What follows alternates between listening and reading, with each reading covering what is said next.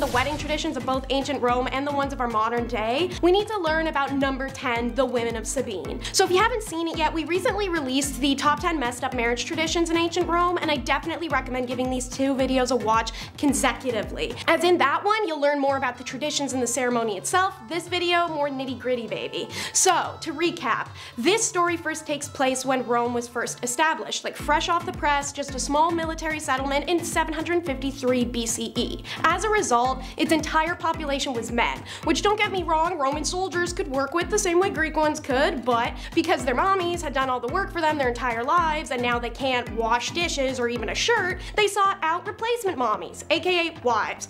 Where and how do you get wives when there are no women? The answer to that question was to steal any women of childbearing age from the neighboring township of Sabine. These women were ripped from their mothers and fathers and carried in large processions back to Rome, where they were forced into marriage via physicality their fathers, brothers, and former husbands came to wage war and win the women back, but the women of Sabine felt it was too late. Now forced into motherhood and marriage to the soldiers, the women of Sabine throw themselves in between the evil men who are now the fathers of their children and the men who they'd been stolen from, begging that bloodshed end, wanting to live neither fatherless nor widowed.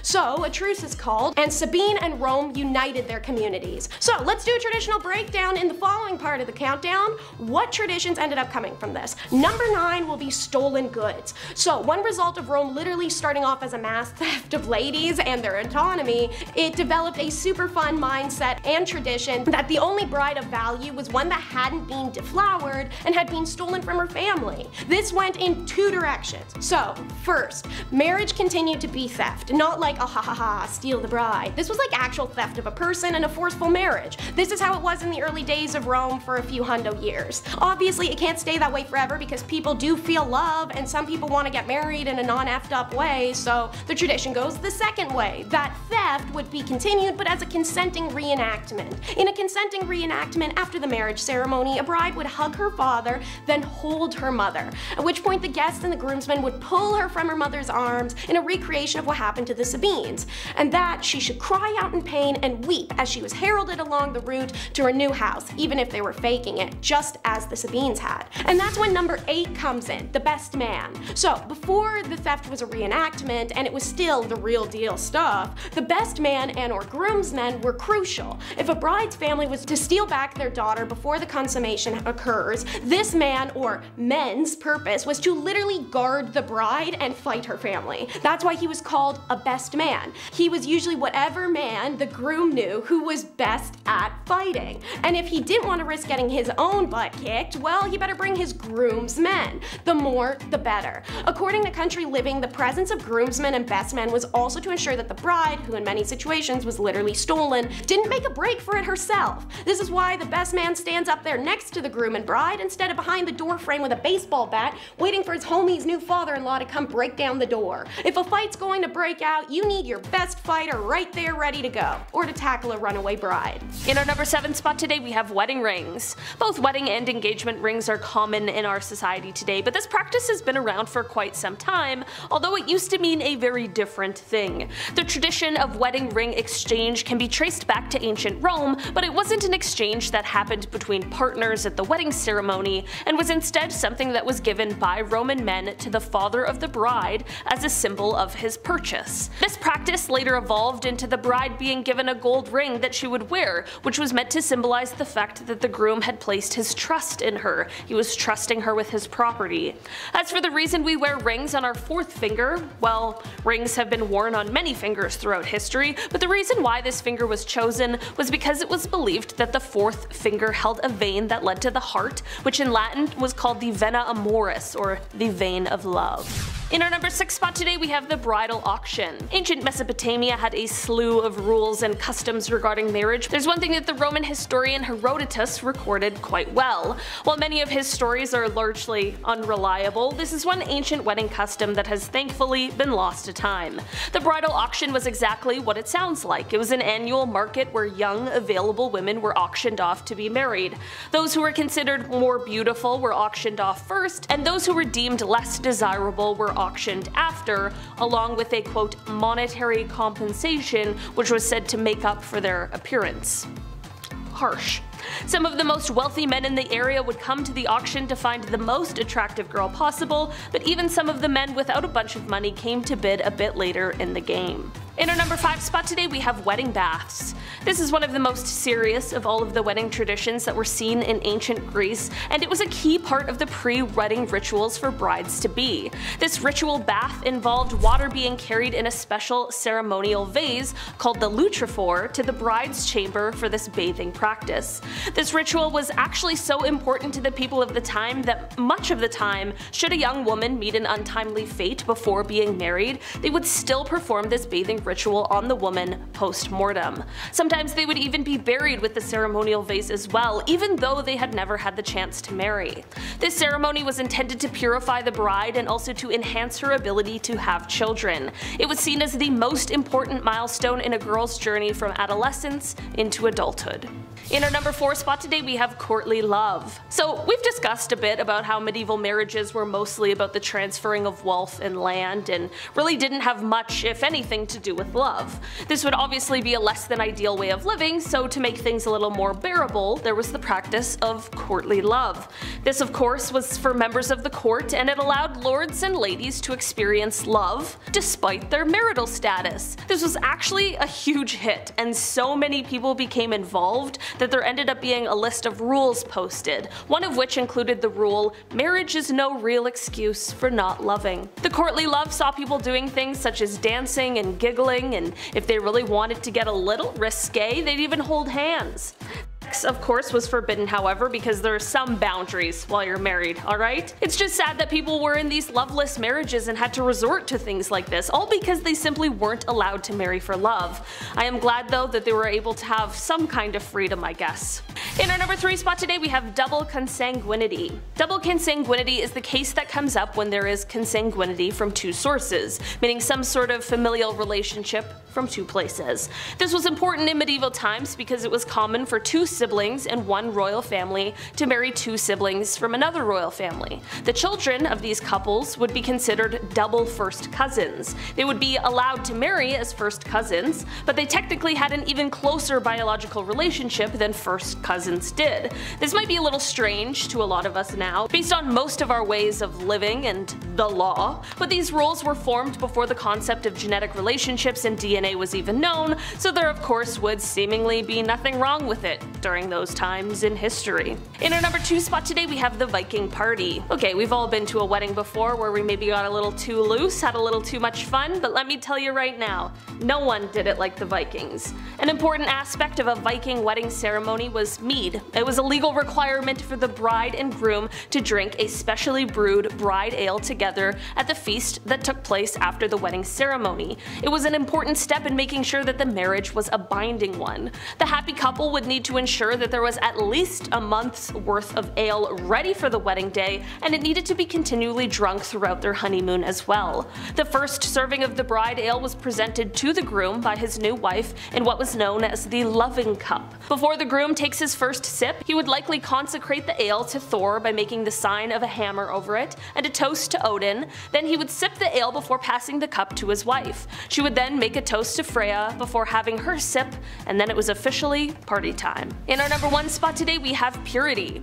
Of course women have been subject to the weird standards of purity for hundreds and hundreds of years, but it was so bad in the medieval times that it was very common for women to have to take a type of purity test in order to assure her new husband.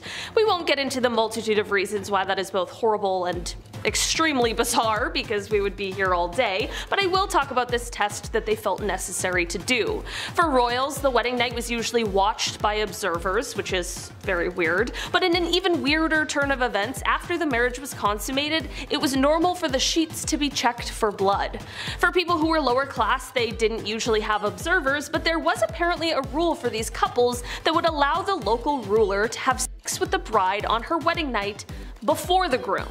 But this is debated by some historians, and I truly hope that this one is actually untrue. Alright, It's everywhere right now, so obviously covering it first. Number 10, how a blind date leads to being one in a thousand. It's been controversy since day one with Meghan and Harry, not because they did anything wrong per se, not at least at first, more so the usual sensualization drama that has to occur whenever a prince chooses a cool Hollywood gal to be his biddy. As you'll learn in this video, this was not the first time this has happened. The couple met on a blind date in 2016, and the relationship was confirmed in November of that year, immediately initiating waves of hatred and bigotry onto the couple for the Meghan's ancestry, career, and how she even breathed. Really anything the media could latch onto.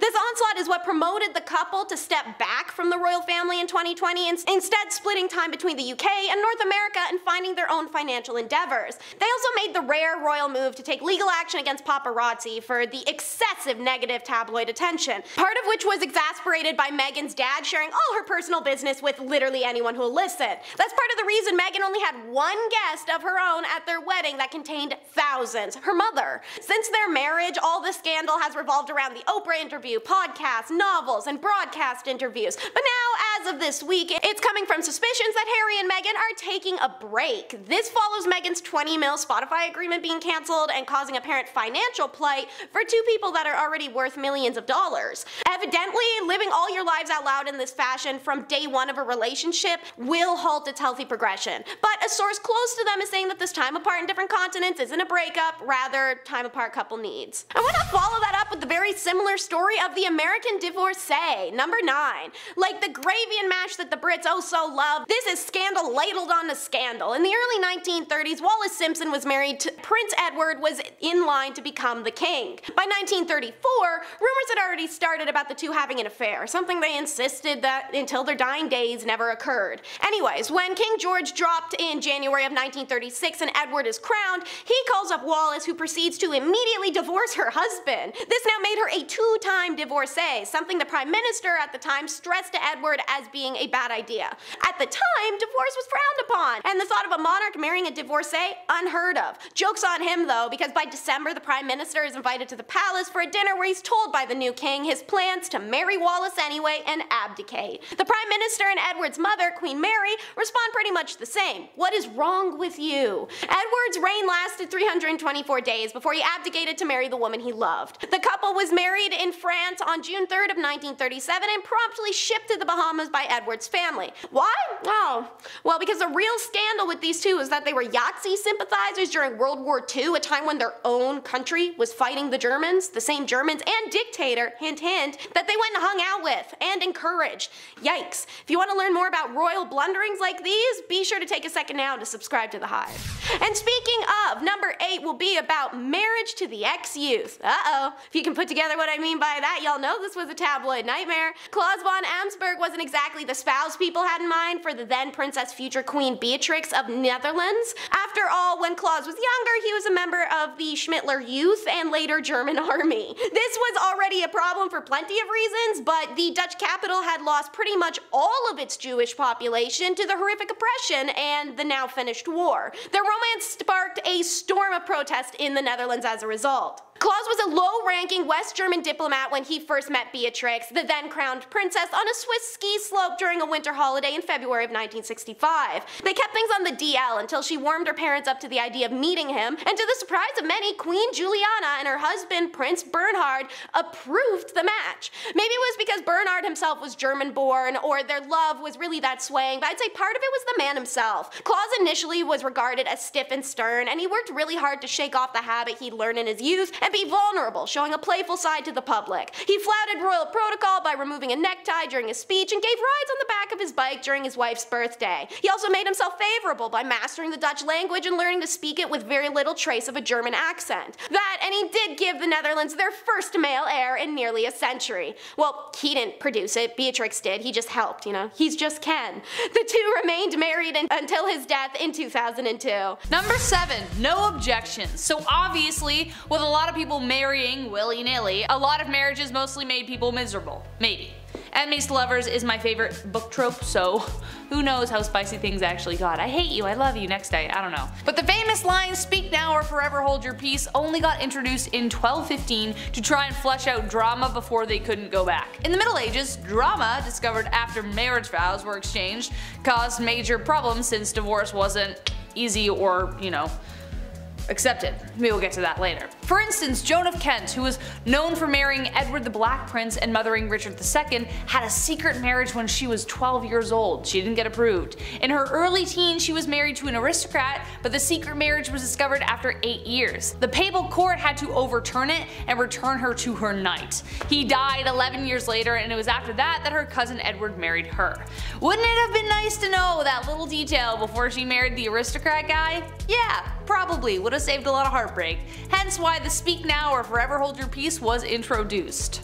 At number 6, Shoes! Back in the days of old, shoes were apparently a huge staple in society. They were pointy and weird and expensive and complicated and were even integrated into marriage practices. During the wedding ceremony, it was a tradition for the father of the bride to take one of the bride's shoes and give it to the groom. The groom would then tap the bride on the head with the shoe in a token of his authority. But the shoe traditions don't stop at bopping people on the head like little bunny foo foo. You know how these days there's a tradition of throwing the bouquet at weddings, and apparently whoever catches it is the next to get married? Well, that tradition sort of came from the medieval tradition of throwing shoes at weddings. Instead of throwing flowers, brides would throw shoes at their bridesmaids to determine who was next to walk down the aisle. Now this whole bride throwing things idea has failed me before because I caught a bouquet once and I'm as single as ever, so maybe someone needs to chuck a shoe at me or something this time please. Number 5. The bedroom trial. So divorce, again, wasn't a thing. On the upside of dying early, it potentially meant that you weren't locked in a marriage for too long. If the marriage did end, it wasn't a divorce, it was an annulment,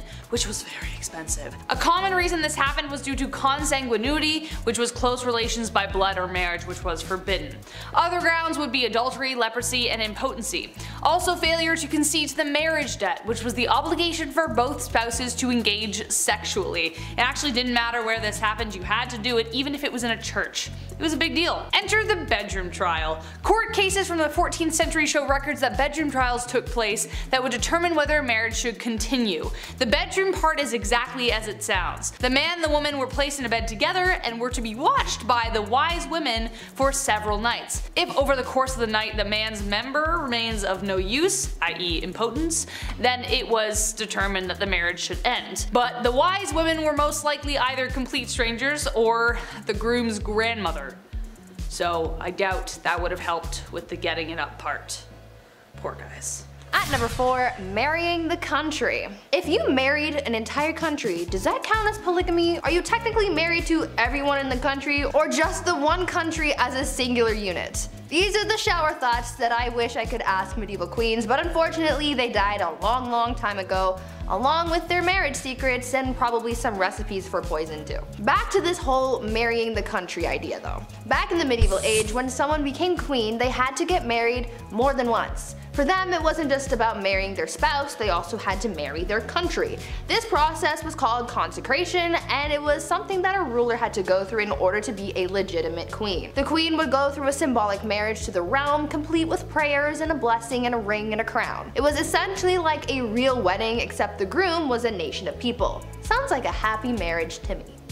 Yeah. Number 3. The veil. As we have determined so far in our list, love wasn't the primary reason for marriage, especially for nobles, so as a result there were quite a significant amount of arranged marriages. Besides the symbolism of humility and purity, it was also used as a way of disguising the bride entirely. The bride would often be wrapped from head to toe to protect her from evil spirits. This tradition goes all the way back to ancient Roman times. That's one explanation, but during arranged marriages, it was more literally used to hide the face of the bride from the groom. So if he didn't like what he saw after he literally unwrapped the package, well, too bad, she's yours now. Eventually veils progressed to being much smaller, but the tradition of revealing the bride to the husband to declare ownership remained a tradition even to this day kind of, except now it's more romantically idealized. You see Priyanka Chopra's awesome veil and that, you know the one. At number 2, long distance marriage. You know how during the pandemic people started having Zoom weddings? Well, in a way, people have been doing something similar since the medieval ages. Back then, a lot of weddings were simply for political reasons, and so a big ceremony was rarely needed. So when two people from different kingdoms were getting married, they didn't necessarily need to be there for the wedding. Instead, they could send proxies and have someone marry their new spouse on their behalf. This would be the legal binding of marriage, you know, the paperwork paperwork side of things. But once both parties could finally meet in person, then they would hold a second ceremony with all the pomp and circumstance that you would expect. And yes, it still included the whole watching the consummation thing. Ew. This proxy marriage actually happened to Marie Antoinette and her brother was her proxy until she could get to the formal ceremony. So now we know that even back then you didn't have to show up on time to your own wedding and you could just get someone else to do it. Sounds a little cold to me but like I've said before, love is dead and it died a long time ago. Mic drop, thank you. Number one, last but not least, and this is the most messed up, the Lord's Right. This one is definitely the most messed up tradition and I don't even know how it was justified in the first place. Like why was it even in place? Someone clearly clearly made this happen so they could piss people off. The last thing anyone wants at their wedding is someone interfering with the wedding night.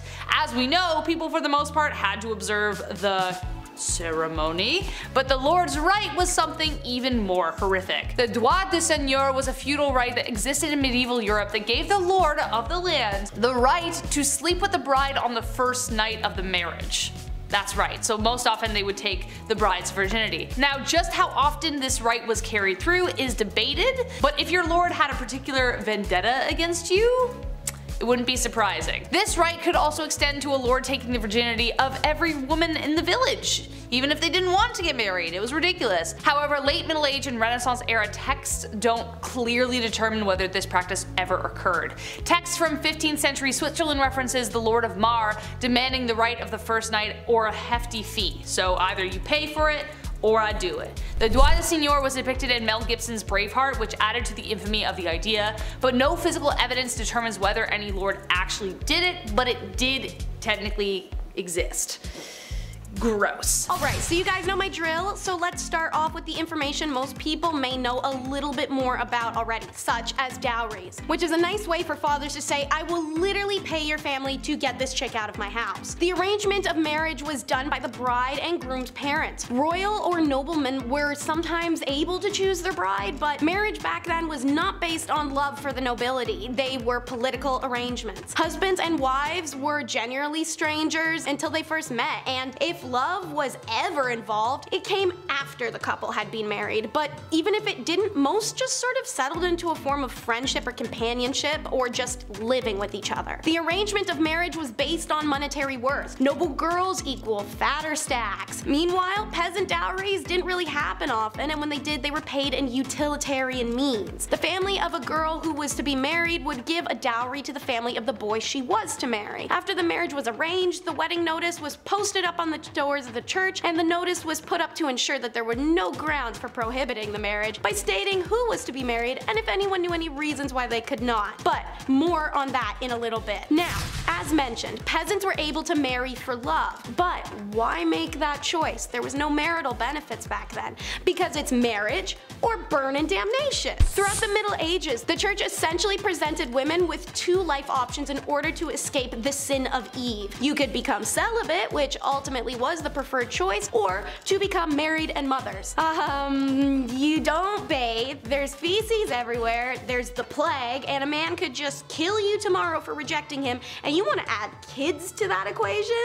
When there's no medicine either? Pass hard, hard pass. Nunneries were literal havens for these single women because sure, you could be celibate and still live in town being a spinner whatever, but again, you run the risk of some dude just jumping you and the courts blaming you for it and then doing something whack like cutting your nose off for it. Nunneries were female only. They kept things clean and locked up, so women could just try and have an ounce of peace in an era where existence was just to breed or feel bad about yourself. According to Halston C.S., once a girl was physically ready to consummate a she met Aunt Flo, she was ready for marriage. However, since puberty came earlier for females than males, they could marry at a younger age. So, for peasants who were genuinely interested in marriage out of love, something that could only be done consensually on both sides, they were eligible once they'd hit their respective puberties. And were able to wed. No parental consent required, which is the next on the list. As people lived short lives in the Middle Age period, parents of nobility often made arrangements early on and a few months old baby could be betrothed to another few month old baby, and then raised in their respective royal nurseries until they hit that jolly old consummation age in their teens. Think Sleeping Beauty being promised to the prince in the Disney movie. Peasants and commoners, however, were able to marry as they wished, and parental consent wasn't even required. It was like this for centuries. But there's always those folks who didn't like when two separate religions mixed, and there's always those who tried to take advantage of the easy I do policy. So good things never last. And it didn't. When this law finally changed in England in the 18th century, the old rules still applied in Scotland making towns just over the border, such as Gretna Green, a destination for English couples defying their family and wanting to marry without their consent. A brief personal story for you guys. So, my mother is a traveler and decided to visit the famous Gretna Green town and wedding site, where the tradition of Gretna Green marriages still lives today. My mother was taking photos and reading history plaques when she got taken aside by her tour guide. A couple whose family wasn't supportive of their relationship, just like the couples of the past, had shown up and decided to marry spontaneously in the traditional way. They had chosen Gretna Green for its historical significance to their unsupported love, and they needed two witnesses. The tour guide could act as one witness, but they needed a second. So my mother stood as a witness for a young couple who had just traveled to the border to marry at Gretna Green alone, experiencing the same pilgrimage thousands of couples had done in history. Tradition number seven is in the garb. The hair of the bride was the most important aesthetic element, everything else seemingly falls by the wayside. The bride often wore a long linen gown embellished with beads or intricate embroidery. The groom donned his newest and brightest of tunic and trousers, and also often linen and embroidered. Both parties would don a belt, and the groom's being a symbol of his strength and ability to protect. The more weapons holstered, the better, but the groom always carried a pickaxe or hammer at least. The bride's was a symbol of her fertility, the clasp of her bridal belt intricate and dainty, drawing the eye as a reminder of what is to come when she and the groom are alone. Vikings loved to wear jewelry and wedding attire was no exception. The bride would wear a necklace, earrings, bracelets, often made of silver or gold and often more than one layer. The groom would wear a brooch or an arm ring symbolizing his status and power. The final layer would be exactly that, an extra layer. Vikings lived in cold climates and it was common for them to wear coats or cloaks to keep warm. Seeing as the Viking wedding ceremony exclusively happened outside, no matter the season, a fur coat usually was of great importance. The groom's coat was usually a dark color, an animal he or a man in his family had personally hunted. This shows his prowess as a man and his role as a provider. The woman's fur coat would be a pale color, a symbol of her purity and as the sweet animal captured by the ferocious hunter. Tradition number six is tying the knot. This classic wedding phrase is one that used to be quite literal. Called a hand fasting ceremony, a multitude of pagan religions had their own versions of this. For example, the Roman brides as mentioned in the Bumblebee video, Top 10 Scary Marriage Traditions in Ancient Rome, wear an intricate knot belt that must be undone by the groom. The use of the knot to symbolize the joining of couples originates with the Celts, who were famous for the symbolic use of knots and knot patterns. Hand fasting in the most traditional of senses was done by the Vikings, wherein the couple's hands are tied together with some cord or cloth by the officiant, quite literally binding them and officiating their marriage. They are tying the knot. Moreover, this practice was important to the Vikings as it indicated that the couple was getting married by choice, not by force. The couples I mentioned at the beginning of our video incorporated hand fasting in their ceremonies, but even those not recreating Viking weddings still participate as the trend is popular in Europe. Apart from exchanging rings, house keys, and tying the knot, the Viking bride and groom also exchanged swords. This symbolized the transfer of protection between the groom's and the bride's families. They would each exchange ancient swords from their own families, thus why the groom went and dug one up pre-wedding night. Furthermore, it united the two families that were now responsible for supporting and protecting one another. Tradition number five is the godly blessing. First and foremost, Viking weddings always and only took place on Fridays, otherwise known as Frigg's Day or Freya's Day, as the queen goddess represented marriage, love, and fertility. To hold a marriage on any other day than one of the Norse goddesses would have been a bad omen. Viking wedding rituals stated that the wedding also had to be held between the end of the harvest and before the snowfall, and that you needed to accumulate enough food and shelter for everyone invited. You also had to have enough bride ale for the new couple to drink for the first moon cycle of their wedding. Meanwhile, during the feast post-ceremony, the hammer or pickaxe that the groom carries as part of his groom's attire would finally play its role. The bride was expected to ask for Thor's blessing, and so, the pickaxe or hammer wielded by the groom, meant to represent Majon, is placed on the bride's lap. The placement of the symbol of Thor's manhood in between the bride's womb and hoo-ha is highly symbolic, as he represented male fertility and was believed by playing into this cruel joke, he may deliver you, the bride, strong children. Tradition number four is a cat in a box. As the groom would hand over his house keys to the bride, the congregation of those witnessing the wedding would bestow the gift of life to fill the home in preparation for children.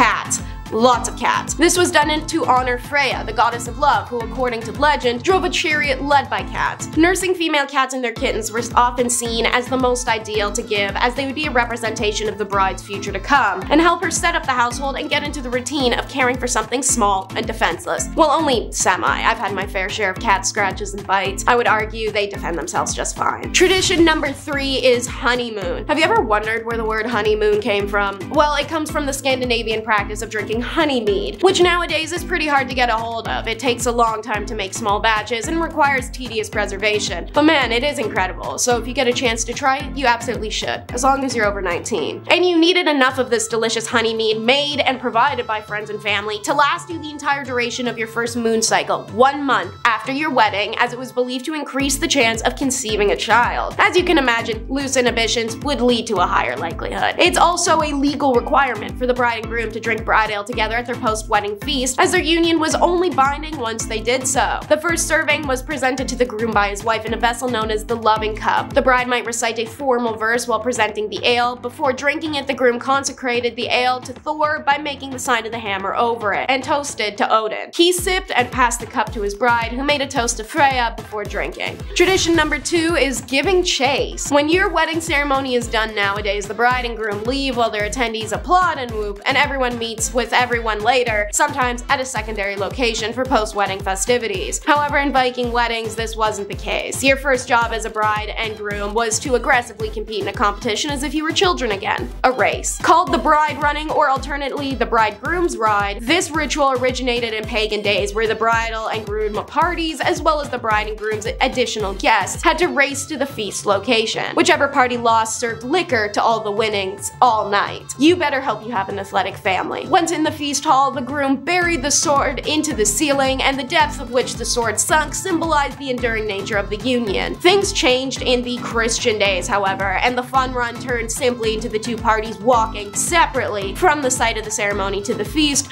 which is how we've ended up with the far more boring modern version we do today. When Christianity spread, it also carried the tradition of the marriage door from Rome. The Christian Viking version was the groom actually blocking the door so that the bride had to enter with his assistance, completing her symbolic journey from maidenhood to marriage. Tradition number one is animal sacrifice. Despite the wealth of Viking wedding knowledge that seems to be available, I will commentate briefly on how reconstructing their ceremonies has proven to be immensely difficult. This is because when the Viking sagas were first written, Christianization had already started wiping out their traditional cultures, temples, runestones, and overall beliefs, leaving many details undocumented or struck off the record. However, we are very confident that sacrifice made its way into marriage ceremony. The sacrifice was to draw attention of the gods to the ceremony and assured their presence and blessings, and so animals associated with fertility were the ones used. For Thor, a goat, for Freya, a sow, and for Freyr, a boar or horse. The Gothi, the person responsible for the wedding, usually sacrificed the animal right at the wedding site. The animal's blood was collected in a bowl and placed on the altar. Then, a bundle of fir twigs was used to be dipped in the blood and splatter it on the couple, conferring the blessings of the gods. The blood is then drizzled over little figures of the gods placed at the altar, all meant to symbolize the union of them and regular people. And yes, Rune and Elizabeth Dalseth and Dorian and Charlie Yust are couples who recreated authentic Viking weddings in 2015 and 19, also included this part of the ceremony. At number 10, veil. Through this video, you will come to find out that a lot of the wedding traditions that we practice these days have some pretty messed up origins.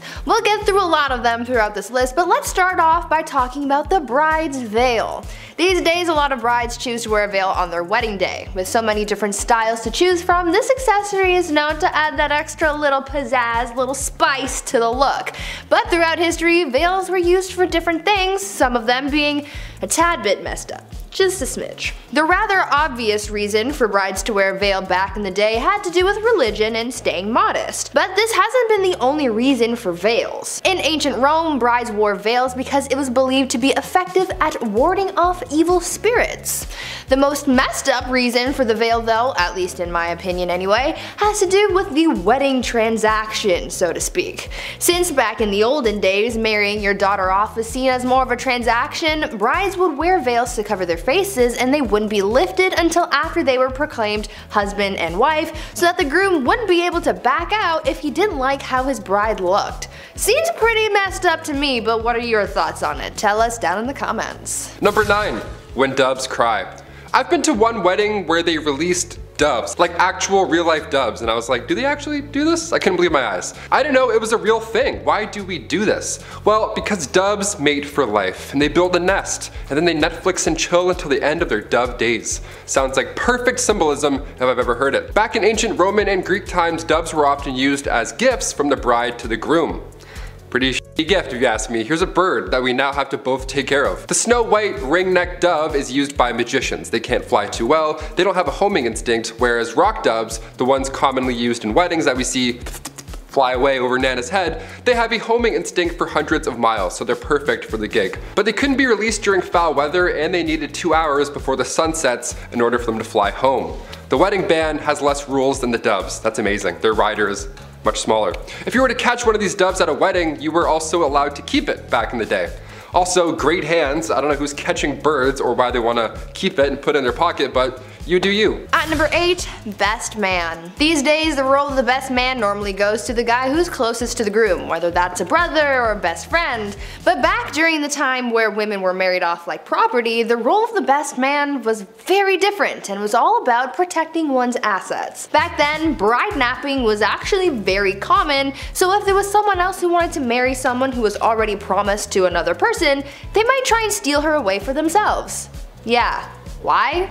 I don't know. This is where the best man came in. The best man's job was to protect the bride and if she was stolen, the best man would be the one to enter whatever battle or duel was necessary to get the bride back. The best man was literally there to be the best fighter. The best man was also there to watch over the bride to make sure that she didn't try and make a run for it herself. They really said, try to derail this wedding and see what happens. Number 7. Purple Nutsedge Weed.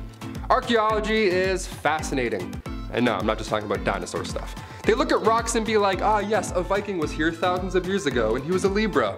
How do you know that? This is so impressive. Ancient sites tell a story, and Karen Hardy, an archaeologist with the Catalan Institute for Research and Advanced Studies at the University of Barcelona, she found another ancient hygiene practice while studying a prehistoric site in Sudan. Plaque, turns out, can last thousands of years. It calcifies once it mixes with food, then after it's stored below the gums, game over, it's there for good. Specifically, thousands of years ago, it was there to stay. We couldn't really get that out. Hardy was studying remains that were 2 to 9,000 years old, and in their teeth they found traces of pollen, dirt, and plant fibers. More specifically, they found evidence of a plant called purple nutsedge. It contained lysine, which is an amino acid that we need to live, so although it didn't taste the best, it sure was vital. Ancient Egyptians used the root for perfume, but this new study shows that purple nutsedge may have been used to prevent tooth decay. They would just chew on roots all day to take care of their teeth. The plant produces antibacterial chemicals, so chewing on them would have been beneficial. Little different than the inside of a tortoise, I'd say. It's definitely a step in the right direction. Number 6. Smoking. Back in 1665, during a plague in London, you were told to smoke cigarettes because they were considered disinfectants. Sore throat? Eh, smoke this pack of cigarettes, I'm sure that'll help. Help you cough a bit more if anything. We mentioned before tobacco smoke enemas in like part 1 or 2 or 3 or something over there. But this is just bad advice. Since mouth to mouth wasn't a thing in the 50s, if you were trying to save a drowning victim, you would also have to blow smoke in their face or their butts. Either way, how insane is that? Can you imagine that actually playing out in real time? He's not breathing, quick! Hang on. Cut to 1964, turns out smoking is bad for us. Who knew? Cigarettes were labeled as deadly going forward after that point. It's pretty intense now though, eh? The photos on cigarette packages now are haunting to look at. I still think teenagers smoking to stay in shape is a bit scarier to be honest than that image. She's always like, face is just like pulled, so scary. Don't smoke. Number five, face care. So we've gathered that folks in the Middle Ages didn't bathe often. But when they did, it was just the necessities, right? They didn't have time to you know, Old Spice all their stuff up like they do. Then time to dance in the shower and shower backwards. It wasn't a fun event. Hands and face, that's it. That's all you really need anyways. If you couldn't afford a walk-in shower back in the day, you'd have to invest in an ewer and basin. You would all have to share the same thing and take turns dipping your hands and face in all day long, just the same hmm. Protecting your face was vital for ancient Egyptians 6,000 years ago. They would honor the gods with makeup, but at the same time, it would also protect their skin from the sun. We love that. Today we have like SPF creams. I'm like, this is nothing, this is no fun. Ancient Greeks would use oils to clean their face and they would later scrape it off. And in the 1700s, many believed in saunas and sweat cleansing. The number one trick to clear skin?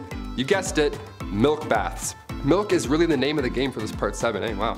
Goat milk mouthwash, milk baths. I'm gonna go milk a cow after this video. Just because, you know? Feels right.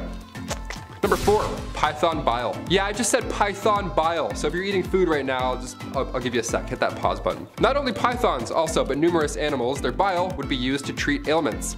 Ulcers of the female genital area, yeah, that's what the doc was giving you. Python bile. Have fun. Ancient Chinese physicians would also hand over some elephant bile as well if bad breath was bringing down your game. Elephant bile mixed with water would get rid of halitosis. Honestly, any type of bile, just count me out. I just won't brush. How's that? Taylor, why do you have bad breath? Oh, have you seen the alternative? That's why, Mike. That's why. I almost tripped, but that's why. I almost broke my leg.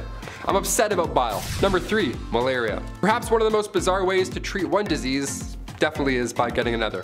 If you suffered from syphilis back in the early 1900s, uh, there wasn't really much help you could get. That was until Austrian physician Julius Wagner Jauregg came along. He received the Nobel Bell Prize for this discovery, and as bad as it sounds, it's honestly quite the breakthrough. Julius discovered that malaria-induced fevers were the key to treating syphilis.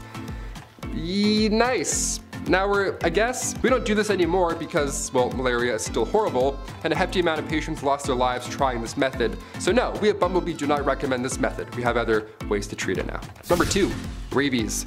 It's a part 7. Let's talk about rabies. Might as well. This is a haunting list so far. Pre-rabies vaccine, I mean, what the hell did we do?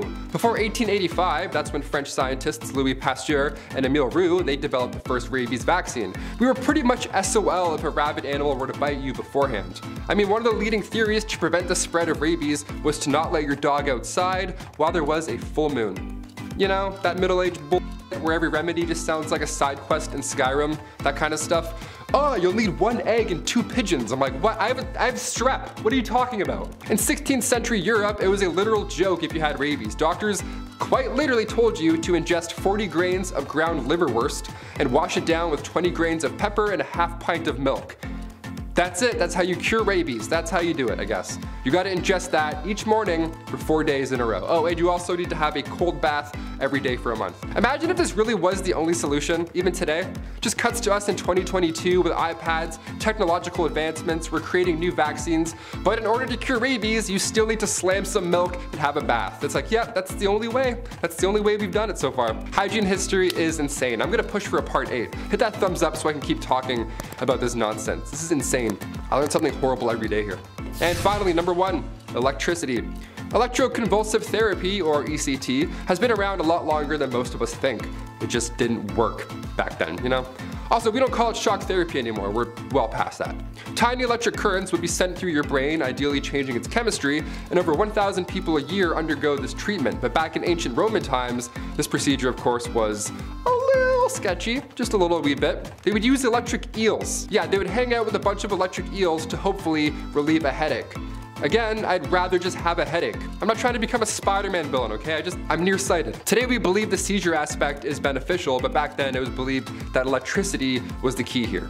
We would drink electrified water and wonder why nothing's happening. Tradition number 10 will be the gift of a blade. In 2015 and 2019, couples Rune and Elizabeth Dalseth and Dorian and Charlie Yust became two of the only couples in modern times to have authentic ancient Viking wedding ceremonies, complete with blood sacrifices, hog roasts, and swords. Swords, while it may come as a surprise, or not given how the Norse are, were integral to the wedding ceremony. In fact, it's how a girl was even shown to be on the market. When a girl came of age for marriage, which which is young, but far older than just about anywhere else in ancient Europe, a father let it be known that she was available for marriage by gifting his daughter an empty sheath she would attach to her belt or girdle. Now, this didn't mean she or her father would have to accept the first knife just plopped in. Many women in Viking culture didn't wed until their mid-20s. If a suitor liked the girl, he would put a puukko blade in the sheath, at which the girl would keep if she was interested in him as consent for him to attempt a courtship. Men would sometimes doll up these puukkos to try and curry more favor. However, it is noted by some historians that girls would also place blades into other girls' holsters. It's unknown if it correlates with same-sex romance or friendship. Blades will return in prominence a few more times in this countdown. Tradition number 9 is that of the pre-game. In the days before a wedding, the bride and grooms would be separated so as to shed their old selves in preparation for finding their new selves with one another. For the bride, this meant being stripped of old clothing and any symbols of her unwed status, such as her kransen, a gilt circlet worn worn by Scandinavian girls on their heads situated on the hairline. If you've seen the children's movie How to Train Your Dragon, the character Astrid wears one. These are symbols of virginity, and by removing her kransen in preparation for her bridal hair, which we'll touch on in the next segment, she was shedding her innocence. During this time, the bride also cleansed herself in a bathhouse. Hot stones would be placed into water to produce steam, and she would be accompanied by mother, sister, teachers, friends, or any other woman she desired the company of. The bride used birch twigs as switches on their skin to less than metaphorically beat out any dirt and symbolically wash away the bride's maiden status. Once the bath was finished, the bride was doused with cold water to close the pores and end the cleansing. Grooms didn't have it as easy as they usually do, and they also underwent symbolic rituals. His attendants would be his father, married brothers, or other married male friends. In order to rid themselves of any bachelorhood and destroy all vestiges of the unmarried self, Viking men participated in a symbolic sword ceremony by breaking into a grave. That's right, pre-wedding night, the husband-to-be would grab a pickaxe and get to work on burying the dead and retrieve a sword from an ancestor's skeleton. Through this action, he entered death as a boy and emerged into life as a man reborn. After this, he too would attend the bathhouse, beat himself raw with twigs, while gaining insight and instruction on husbandly and fatherly duties from his attendants. Tradition number 8 is as mentioned, the bridal crown. The bridal crown represents a literal crown, but also that of a natural crown, aka hair, which was more crucial to the Vikings than any other part of a woman, as it symbolized virility and sensuality. When it came time for her to remove her kransen, the bride would receive her bridal crown from her mother. This bridal crown would be adorned with endless ornaments, crystals, animal bones, rune stones, but it could also be made of purely natural materials and decorated with flowers, straw, wood, and vines. The longer the hair and the more ornaments it had, the better off the couple was believed to be. The next morning, the bride's hair would be tied up and covered with a cloth to show her status as a wife. Married Viking women would not always continue to cover their hair, but would wind it back into braids, buns, ponytails, and other risen hairstyles. Number 7. Shards and Sharts. Oh, you thought we were done with the Bum Bum history. I think again. This is a part 4 and honestly, I could do 4 more parts on wiping alone. It's a pretty big deal, it's nuts. We don't realize how lucky we are. During the pandemic, for example, one of the first things people stocked up on was toilet paper. It's worrisome to not have six rolls on standby. You start getting anxious, right? You're like, oh, but what if I eat some lobster? I don't know. Whatever makes your tummy upset. Now you know a little bit more about me. But nobody did it like the ancient Greeks, and I mean nobody. Survey says ancient Greeks would wipe using broken pieces of ceramic. Oh my god. They would even sometimes write the names of their enemas, I mean enemies, on this piece of shard and then wipe. Isn't that wild? It's like, ah, I'll show you by wiping with ceramic with your name on it. gotcha. Yes, this obviously led to major health problems, and according to the British medical journals, three pieces was often enough. Three is still a good number today. That's a comfortable fold, but ceramic, no, there's no way. No way. It was the better alternative, believe it or not. The other was actually sharp seashells. Number six, deodorant. Before the Old Spice guy was even born, what did people do to smell good? What? Deodorant was first introduced to the public back in the late 1800s. It was called Mum. It was a cream that used zinc oxide and it was stored in metal cold containers. Nothing like speed stick at all, not even close to being discreet. You can't put the stuff on the bus. Since now, they're, gonna be, what's that guy doing with that jar of goop? Ancient Egyptians used ostrich eggs when it came to ancient deodorant. They made perfumes and were amongst the first to try any type of deodorant. So thank you Thank you. Hence the ostrich egg factor. Mixing a little fat, tamarisk, tortoise shells, nuts, and then bam, you're ready for the day. Another method was a little more yummy than ostrich eggs and nuts. Egyptians would also use porridge balls. Flavored porridge rolled up and then safely secured in your little apple pitter fritters right there. Just don't wave at anybody or else you'll, mm, there you go. Number five, Shampoo. When my hair grew longer over the pandemic, I had a huge wake up call. I had no idea what I was doing. I only used the guy's shampoo, you know, like the classic 4-in-1 shampoos. That wasn't working anymore. I needed some curl cream. I needed shampoo and conditioner, separate things. It takes time to figure out what works with your flow, but the ancient Romans, they didn't have head and shoulders. They would just dip their hair in cold water at a public bathhouse, also very public, and then rub and scrape oils away. LimeWire was also used to wash your hair back then, but that was horrible. It's just as useful as lime wire. Sometimes Europeans wouldn't even use water at all. They would just rub their head with bran before bed and then brush it out with a comb in the morning. Yeah, bran. I used dog shampoo once by accident. Honestly guys, I'm not gonna lie. There's something they're not telling us. It was too nice. Number four, Aqua Tofana. Not to be confused with Aquafina, which is Also pretty horrible, Aquatofina was hot in the 17th century.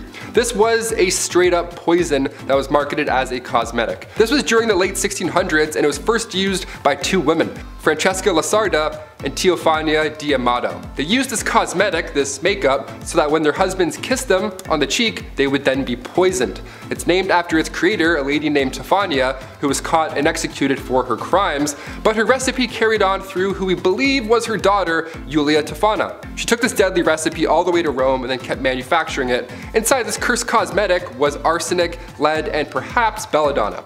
It was colorless, tasteless, and one of the deadliest. This cosmetic took over 600 lives. Brutal.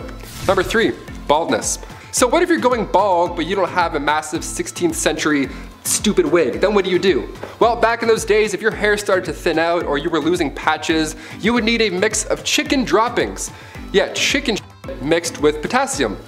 Okay, this ancient advice comes from a man named Peter Levens. He wrote this method down in 1654 as an alternative to lice-infected wigs. Both sound absolutely horrible. Honestly, I think I'd rather the lice-infected wig. At least then you can just take it off. Number two, sailor's delight. Life on the sea was all but a sea breeze, and even today, you know how hard it is to take a on a boat? Whale watching's fun and games until your stomach decides it's had enough of the sea and wants to go home.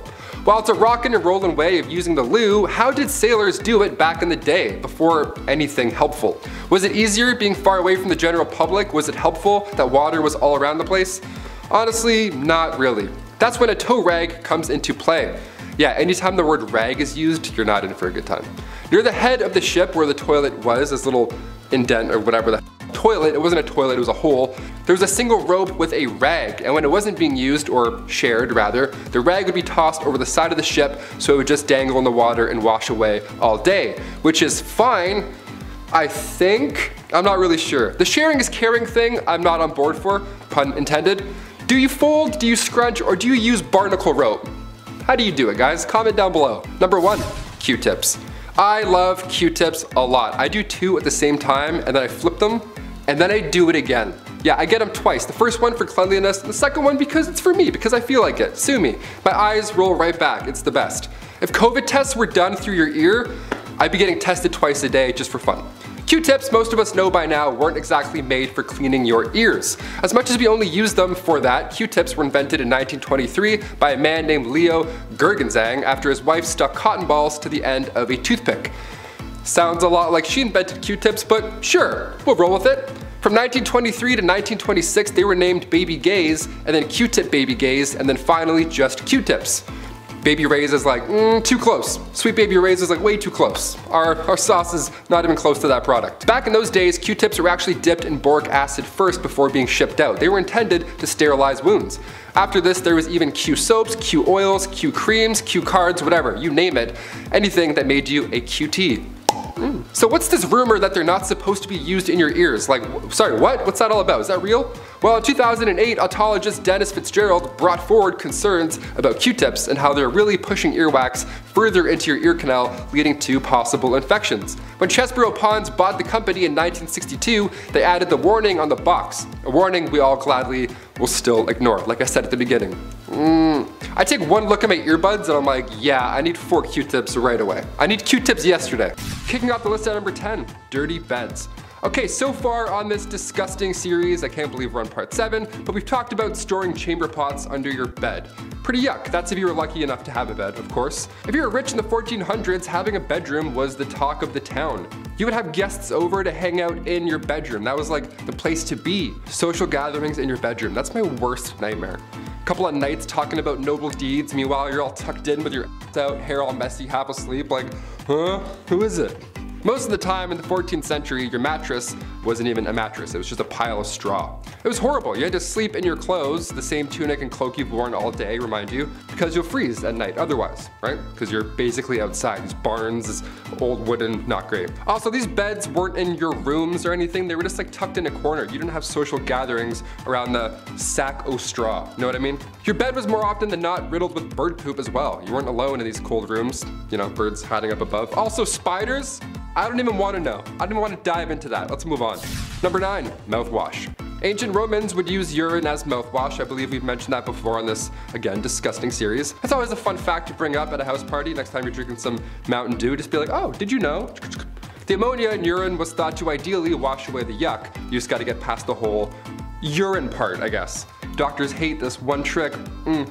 Nero would tax the trade of imported bottled urine. That's how popular it was at this point. Some poor soul with a clipboard would have to stand all day and just be like, Yep. In the 12th century, St. Hildegard von Bingen would advise all to wash their mouth with cold water to remove bacteria. Yeah, if only it was that easy, okay? Just one quick shh and spit it out and then you're good? No. I wish it was that easy, pal. Tortoise blood was also used once as mouthwash, alongside goat milk and vinegar. Out of those three options, imagine not picking goat's milk. You're like, hmm, but what year is the tortoise blood? Number eight, bath beans. Not to be confused with bath bombs, bath beans we're talking about. Bath beans, beans in the bath. Bath beans were used thousands of years ago in ancient China. They were these bars, or beans rather, these chunks, look like beans. They're made of bean powder, herbs, and much like our bath bombs today, they also included some nice fragrances. Just have a little bit of a, mm. The pancreas of a pig was also commonly used, so it wasn't totally nice. Once the blood was drained, you'd mix it with the bean powder and the nice stuff. Now originally it began by using leftover water from cooking rice. Eventually it became bath beans, which is, you know, aka soap old soap. Some bath beans were loaded with ingredients much like the bath bombs we can find today, so they were all quite unique. Could make your own little bath bean. Number 7, wrapped up. One of the weirdest superstitions and traditions that still carries on today is that the bride cannot be seen by the groom before she walks down the aisle at the wedding. Why? Well, it's bad luck. After all, that could ruin a marriage. Not like any other factors would have a hand in that. Like in-laws from hell or spending way too much money on the wedding, putting you in crippling debt right as you're just about to start your life together, right? Well, this was the way of the medieval wedding, and something used to even keep things mysterious was for the bride to wear a veil. It was thought that it would protect her from evil spirits, but also keep her from being seen by the groom, which honestly sounds like it might have been worse. So when the groom got to unwrap his wife, if he didn't like it, well, sucks to suck, brother. Just imagine your bride walking down the aisle and then. Yes, I will get married to you. Let's do it. Number six, Mr. Steal Yo Girl. This one's pretty messed up. I'm not even sure how this was even possible, but hey, here we go. So on your wedding night, it was the legal right of feudal lords to come on down to your place and shack up with your soon-to-be wife. What? Who most likely was a virgin? That's right, the government would come down and fornicate with your wife. Sounds just like the IRS. Anyway, this messed up tradition is somewhat shrouded in curiosity due to its extremely uncomfortable nature and its legitimacy. It may or may not have happened, or at least if it did, it might not have been as commonplace as some people may think. Moving forward, I think it's safe to say that this tradition can stay in the past, as there's no need for the mayor of my town to be sweet talking to my wife during the wedding. Hey, hey Mr. Mayor, you get your hands off of her. Number 5. Mamma Mia. The best man at your wedding was most likely the groom's best friend who he most likely met in college and probably was part of his fraternity. And when given the mic to make a speech that was slightly inappropriate for younger audiences, the most common words of his vocabulary were probably bro and dude. All college friends put aside, the best man of the past had more of a greater responsibility than regaling the tale of the kegger at Stacy's house. Besides the feudal government coming to tickle your wife's fancy, there were others who wished to take the bride away, Bowser style. The best man's job was to prevent any of this from happening. Trying to get away with Koopa kidnapping meant the best man was gonna do battle with you, or just make sure the bride is protected. Like, you know, trying to run away from an arranged marriage because women are treated like property. Basically, he's a Luigi to Mario, except everyone actually respects Luigi in this case. Number 4. Arranged marriages. All this stuff sounds awful, and you might be thinking, why do these women go along with this? Well, it's because they didn't have a choice. A lot of women simply didn't have the right to choose who they married.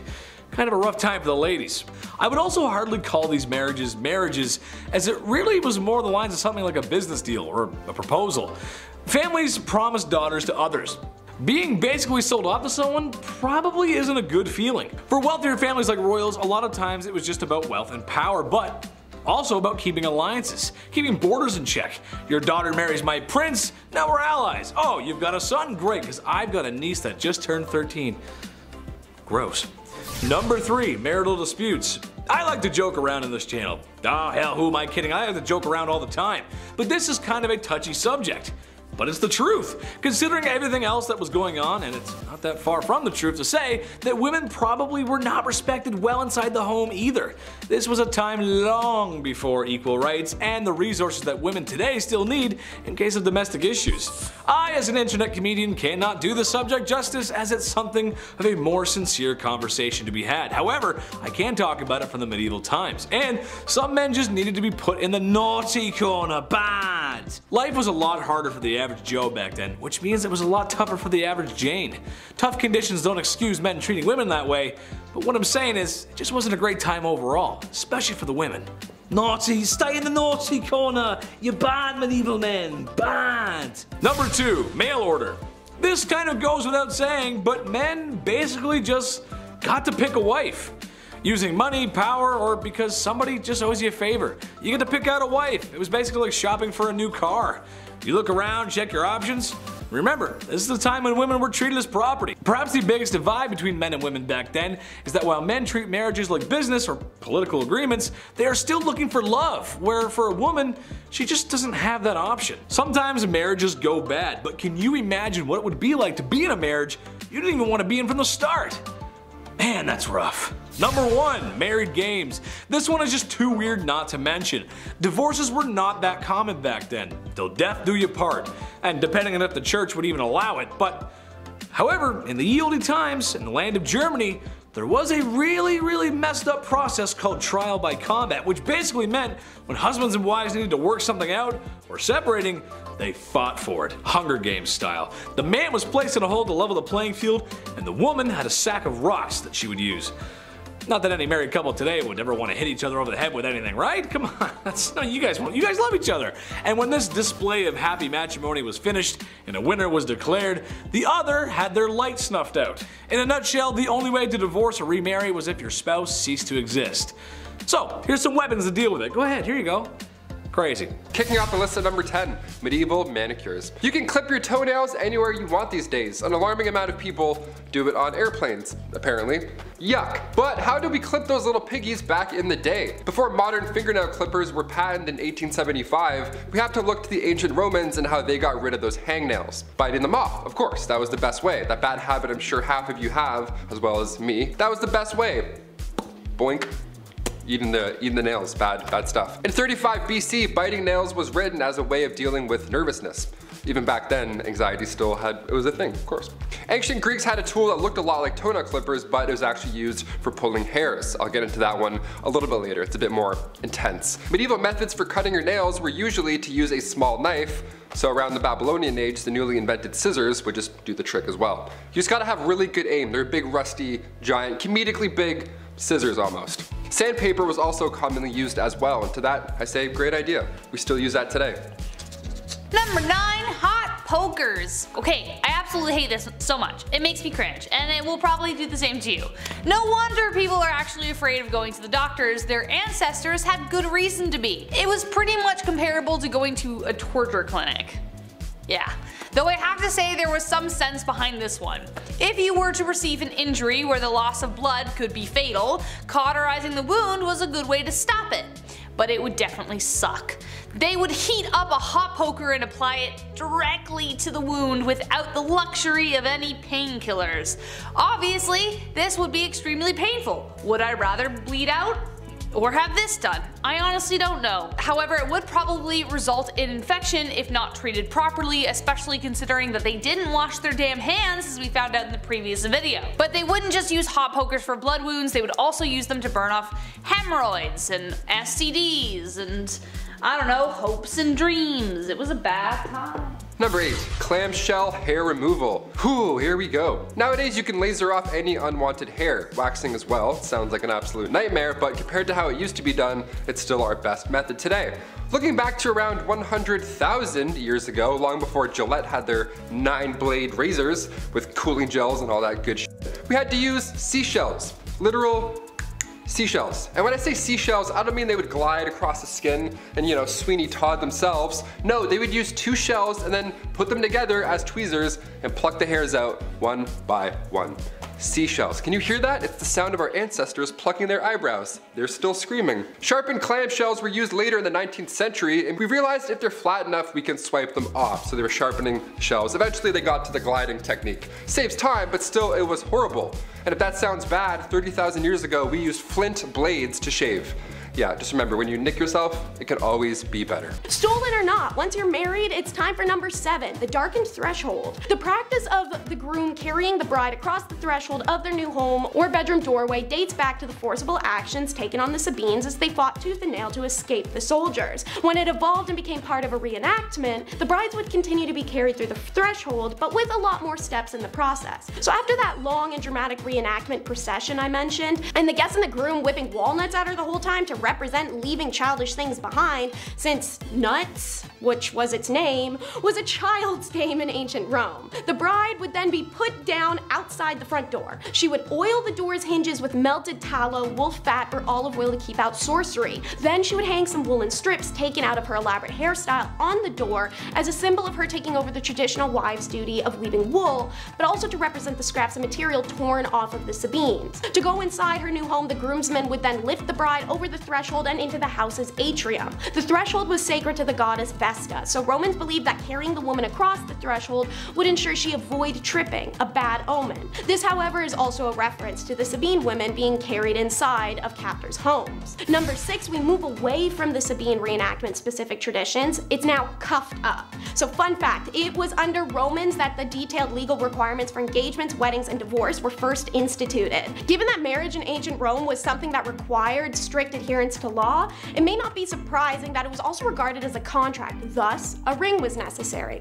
Women in ancient Rome society were given two wedding rings, an iron one and a gold one. The iron was stylized in the early times of Rome to look like or even act as a functioning key, indicating their husbands owned them and they were a homemaker. This ring was worn at home, whilst the second was worn in public to impress people. The most common type of ring associated with Roman marriages was the fede ring, which has a design showing a pair of clasped hands or an entwined couple. Less charming is how they're representative of a contract that's comparable to a farmer buying cows. The ring would act as a receipt and passing of ownership between the father to the future husband. That's why only women wore rings, because men weren't property. Going hand in hand with that last point is number five, dowry on a finger. You know that whole selfish notion that if they really love you, they'll spend a fortune on a ring because that's what you're worth? Guess where that comes from? Creepy, right? Nowadays, it can be obvious from a ring how much someone paid for it, but back in ancient Rome, looking at a ring was how you established how much a woman was worth. And you could base how much you should respect her on that. Cheap ring, that means a small dowry and an unworthy woman.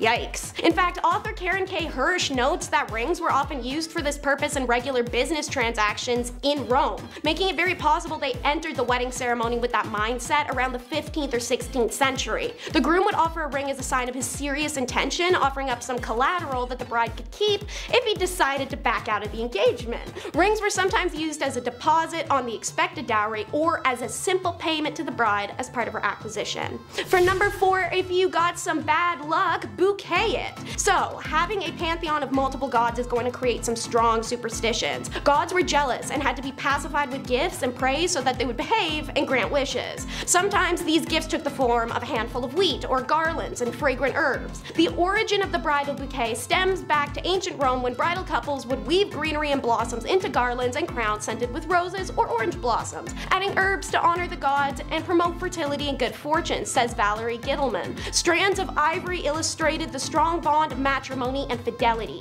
while white blossoms symbolize sweetness and happiness. Sheaves of wheat, for example, symbolize plenty and good harvests, i.e. fertility, which alongside faithfulness were the topmost virtues of ancient marriage. These garlands would be found on the altar spaces on the groom's head, wound into the intricate six-vestal bridal hairstyle, and naturally in the cluster the bride carries, all meant to ward off off evil spirits that might try to harm her. Speaking of hair and bridal beauty, how about the Roman candle for number three? I talked about the flammeum in the last video about Roman marriage, but more so about what it represents and its purposes. As you may know, had you seen it, the flammeum is a oak yellow color. However, it didn't start this way, rather as a vibrant orange-red color designed to look like fire so it would scare off evil spirits. Also, it does explain the name flammeum to you. This flammeum also covered the bride's entire body in a 360 style, and originally they were weighed down with like heavy leaf garlands, precious stones, real rocks if you're broke. This was to prevent her, or at least try to slow her down if she was to try and run away.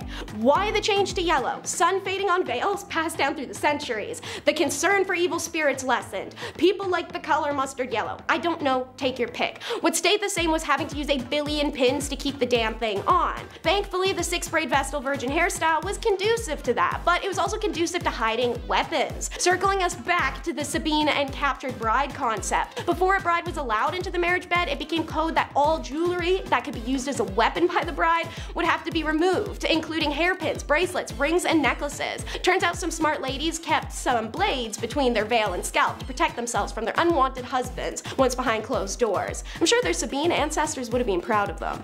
This one's a little odd, but you may now kiss the priest in at number two. Pre-Christianity, kissing in Rome was actually a greeting. Before you picture a hot and sloppy makeout sesh, that's not the case. I mean a peck or little brushy brush of the lips. It was done between strangers, nobility, and family. Hell, they had to put laws in place to get people to stop laying them on each other when pandemics would break out so less people would die. It wasn't a romantic thing in the slightest. Common for friends to kiss one another's closed eyelids, necks, and mouths, and considered a great privilege to greet members of your own family with a kiss. This rule was not to be broken or followed incorrectly. As Christianity took root in ancient Rome, the act of kissing became shamed alongside nudity, intercourse, and just about anything that was natural. What did remain was the kiss of peace. These were initially acceptable between men and women, but over time, Rome went from a kiss friendly to no tongue action township. Because God forbid you kiss someone thanks for the loaf of bread you bought and feel a tingle somewhere. I know you bought bread from her every day for the last 13 years before now and kissed her thanks every time, but you never know. Today could be the day you defy God and embrace the devil. Tisk tisk, Romans. Anyways, jokes aside, despite the casual greeting kiss and the romantic kisses before marriage being banned, the kiss of peace remained, and one of the times that that kiss happened was at the marriage ceremony, where the priest would turn to the groom and absolutely lay one on the guy. After that, the groom has to turn to the bride and give her some sloppy tongue action next. Idea was that the priest passed a blessing through his mouth to the grooms and the groom would pass it to the bride. Thus why the groom can kiss the bride and not the other way around. And last but not least, it's everyone's favorite gals, the bridesmaids, number one. Bridesmaids are as much a sight to behold as the bride herself, mostly because back in the day, they dress almost exactly the same as the bride. Complete opposite of the downright offensive thing some of y'all have your best friends wear. Girl, if you love her, you wouldn't make her wear that shade of pink that she can't. Anyways, the Romans believed that the bride, being so pretty, is easy prey for vengeful spirits that would harm her. Thus, the bouquets, the flammeum, and now the bridesmaids, aka decoy brides. These maidens' purposes were literally to confuse evil spirits. They would dress identical to each other in an outfit somewhat similar to the bride's own. Since the bridesmaids would be surrounding the bride and look so similar to one another, it was believed the evil spirits would become confused and fly off somewhere else. Reader's Digest also noted the use of bridesmaids in a similar fashion to the best man, confusing rival lovers or even criminals seeking to take the bride. As a result, the tradition of bridesmaids wearing identical dresses to the bride persisted until the 1880s. Of course, modern bridesmaids who consider the role less of an honor than a job with the terrible uniform should consider something else noted by Reader's Digest. In ancient times, bridesmaids were literally the bride's maids. At least these days, you're getting drunk on a yacht with her. At number 10, watching consummation. Back in medieval times, depending on the century, weddings either meant a lot or meant nothing at all. If it was the early medieval age, then no one really gave a hoot about marriage, and I'll get to that later. But later, in the medieval age, marriage became a holy sacrament, and this sacrament had to be consummated. On the night of the couple's wedding, they would do the good old brown chicken, brown cow, boom boom pow, OMG wow, which could have been a positive or negative experience depending on circumstance, but it was also a little weird because there would be people watching it all happen. That's right guys, after the ceremony and reception, people would follow the bride and groom up to the bedroom and be like, hey Joe, grab the popcorn, we're watching the live showing of Fifty Shades of Grey. And Joe would be like, yo bet, and then that's exactly how it happened. Anyways, this was all done so that there were witnesses to the consummation, so that the marriage's validity could be backed up. So if anyone tried to deny that their marriage was legit, Joe with the popcorn would be able to back up the bride and groom and confirm that everything happened. Kinda kinky, kinda weird. Number 9, dowries. Today's weddings are so insanely expensive. I don't know if it's ever gonna happen for me for that reason alone. But, uh, you know, they kind of replaced the dowry altogether. But what was a dowry? It was a set of assets, money, material, goods, real estate that would be given to the groom once the couple united. The purpose of the dowry was to entice a groom to marry the bride if he wasn't already attracted to her. A kind of, we will pay you to marry our daughter kind of vibes. But it also acts as a kind of insurance for the bride. Should the marriage end in divorce, the husband is expected to pay it back. So yes, there were indeed take backsies if things got really bad. Though considering divorce and annulments were rare and the money really never belonged to her, not the best rule to live by, but the groom would also pay something called the bride price or bride wealth. The groom was expected to pay a sum either in assets or money to secure a lady's hand in marriage. This implied security for the bride and their family. But yes, in both accounts, technically, a bride could be bought and sold for whatever price the family slash groom deemed appropriate, so really just a marriage pawn. On number 8, Shotgun Wedding. Marriage and weddings back in the medieval ages were practiced very differently compared to today. Back then, people started getting married and having kids very, very young. Usually, girls would be married off as soon as they hit puberty, so around the age of 12, and they would start popping out as many spawn as possible because the high infant mortality rate made it very difficult to grow a family. On top of the duty to further the population, these marriages weren't for love. Arranged marriages were the norm back then because it was mostly used to join families for status or alliances, or because your dad owed Billy from down the block a favor and he offered you to his son Billy Jr. Marriage ceremonies were also very different back then. Because marriage wasn't as big of a fuss as it is now, it didn't matter where you got married or how soon. You could get engaged in the morning and be married by lunchtime if you really wanted to. Most people didn't need permission to get married so they could hold the ceremony anywhere. Marriage ceremonies could be held in places like pubs, in the middle of the street, or even in bed. Because of this, it made it really hard to know who was married and to whom until the 12th century when it was declared a holy sacrament that must be observed by God. Number 7. Victorian Laundry Day. You spilled some mustard on your shirt today, that stain will be gone by time you get home. We're pretty advanced when it comes to quick stain removal today, but like the Romans, which I'll talk about later, it wasn't always smooth sailing. Take the 18th century for example, when Laundry Day came around, it was an event. It was like an ultimate chore. They had to take daylight in consideration and plan their washing days, as in more than one. The Victorian era was exhausting. They would soak their clothes overnight, then the next day would be spent soaping them up, boiling them, rinsing, soaping again, rinsing again, maybe soap one more in case you know there's too much pee pee, and then rinsed another time, wrung out, mangled, laid out to dry, hence the sunlight timing, starched and then slowly ironed. Cut to today, we have to encourage adults not to eat Tide Pods or drink bleach. We'll get there, maybe, I don't know. Number 6. Wigs and makeup. When you don't bathe and are overall just smelly, you're gonna need to do something to cover up whatever the heck is building up beneath that bodice. Wigs would have never become as popular if it weren't for a very specific venereal disease called syphilis. By 1580 the STD was the worst epidemic since the Black Death. Patients clogged hospitals and without antibiotics or protection, things got pretty nasty. Sores, blindness, rashes, dementia, and patchy hair loss. Thus, for the sake of keeping up appearances, wigs came into fashion. Also the makeup I mentioned before. Balding was a huge humiliation, so they made wigs out of horse, goat, and or human hair. They also cover the wigs in powdered scented with lavender or orange to hide any foul odors, and as we suspect, there were a lot of foul odors. They weren't stylish until 1655 when the King of France started losing his hair and had 48 wigs made. Then five years later his cousin Charles II of England joined the train and suddenly powdered wigs became like the next best thing. Wigs did help curb the lice problem though because the human hair had to be shaved in order for the perukes to be worn, but the wigs themselves had to be deloused often. And yeah. Number 5 urine deep. Turns out we used pee for a lot of things back in the day and today we still do? Question mark?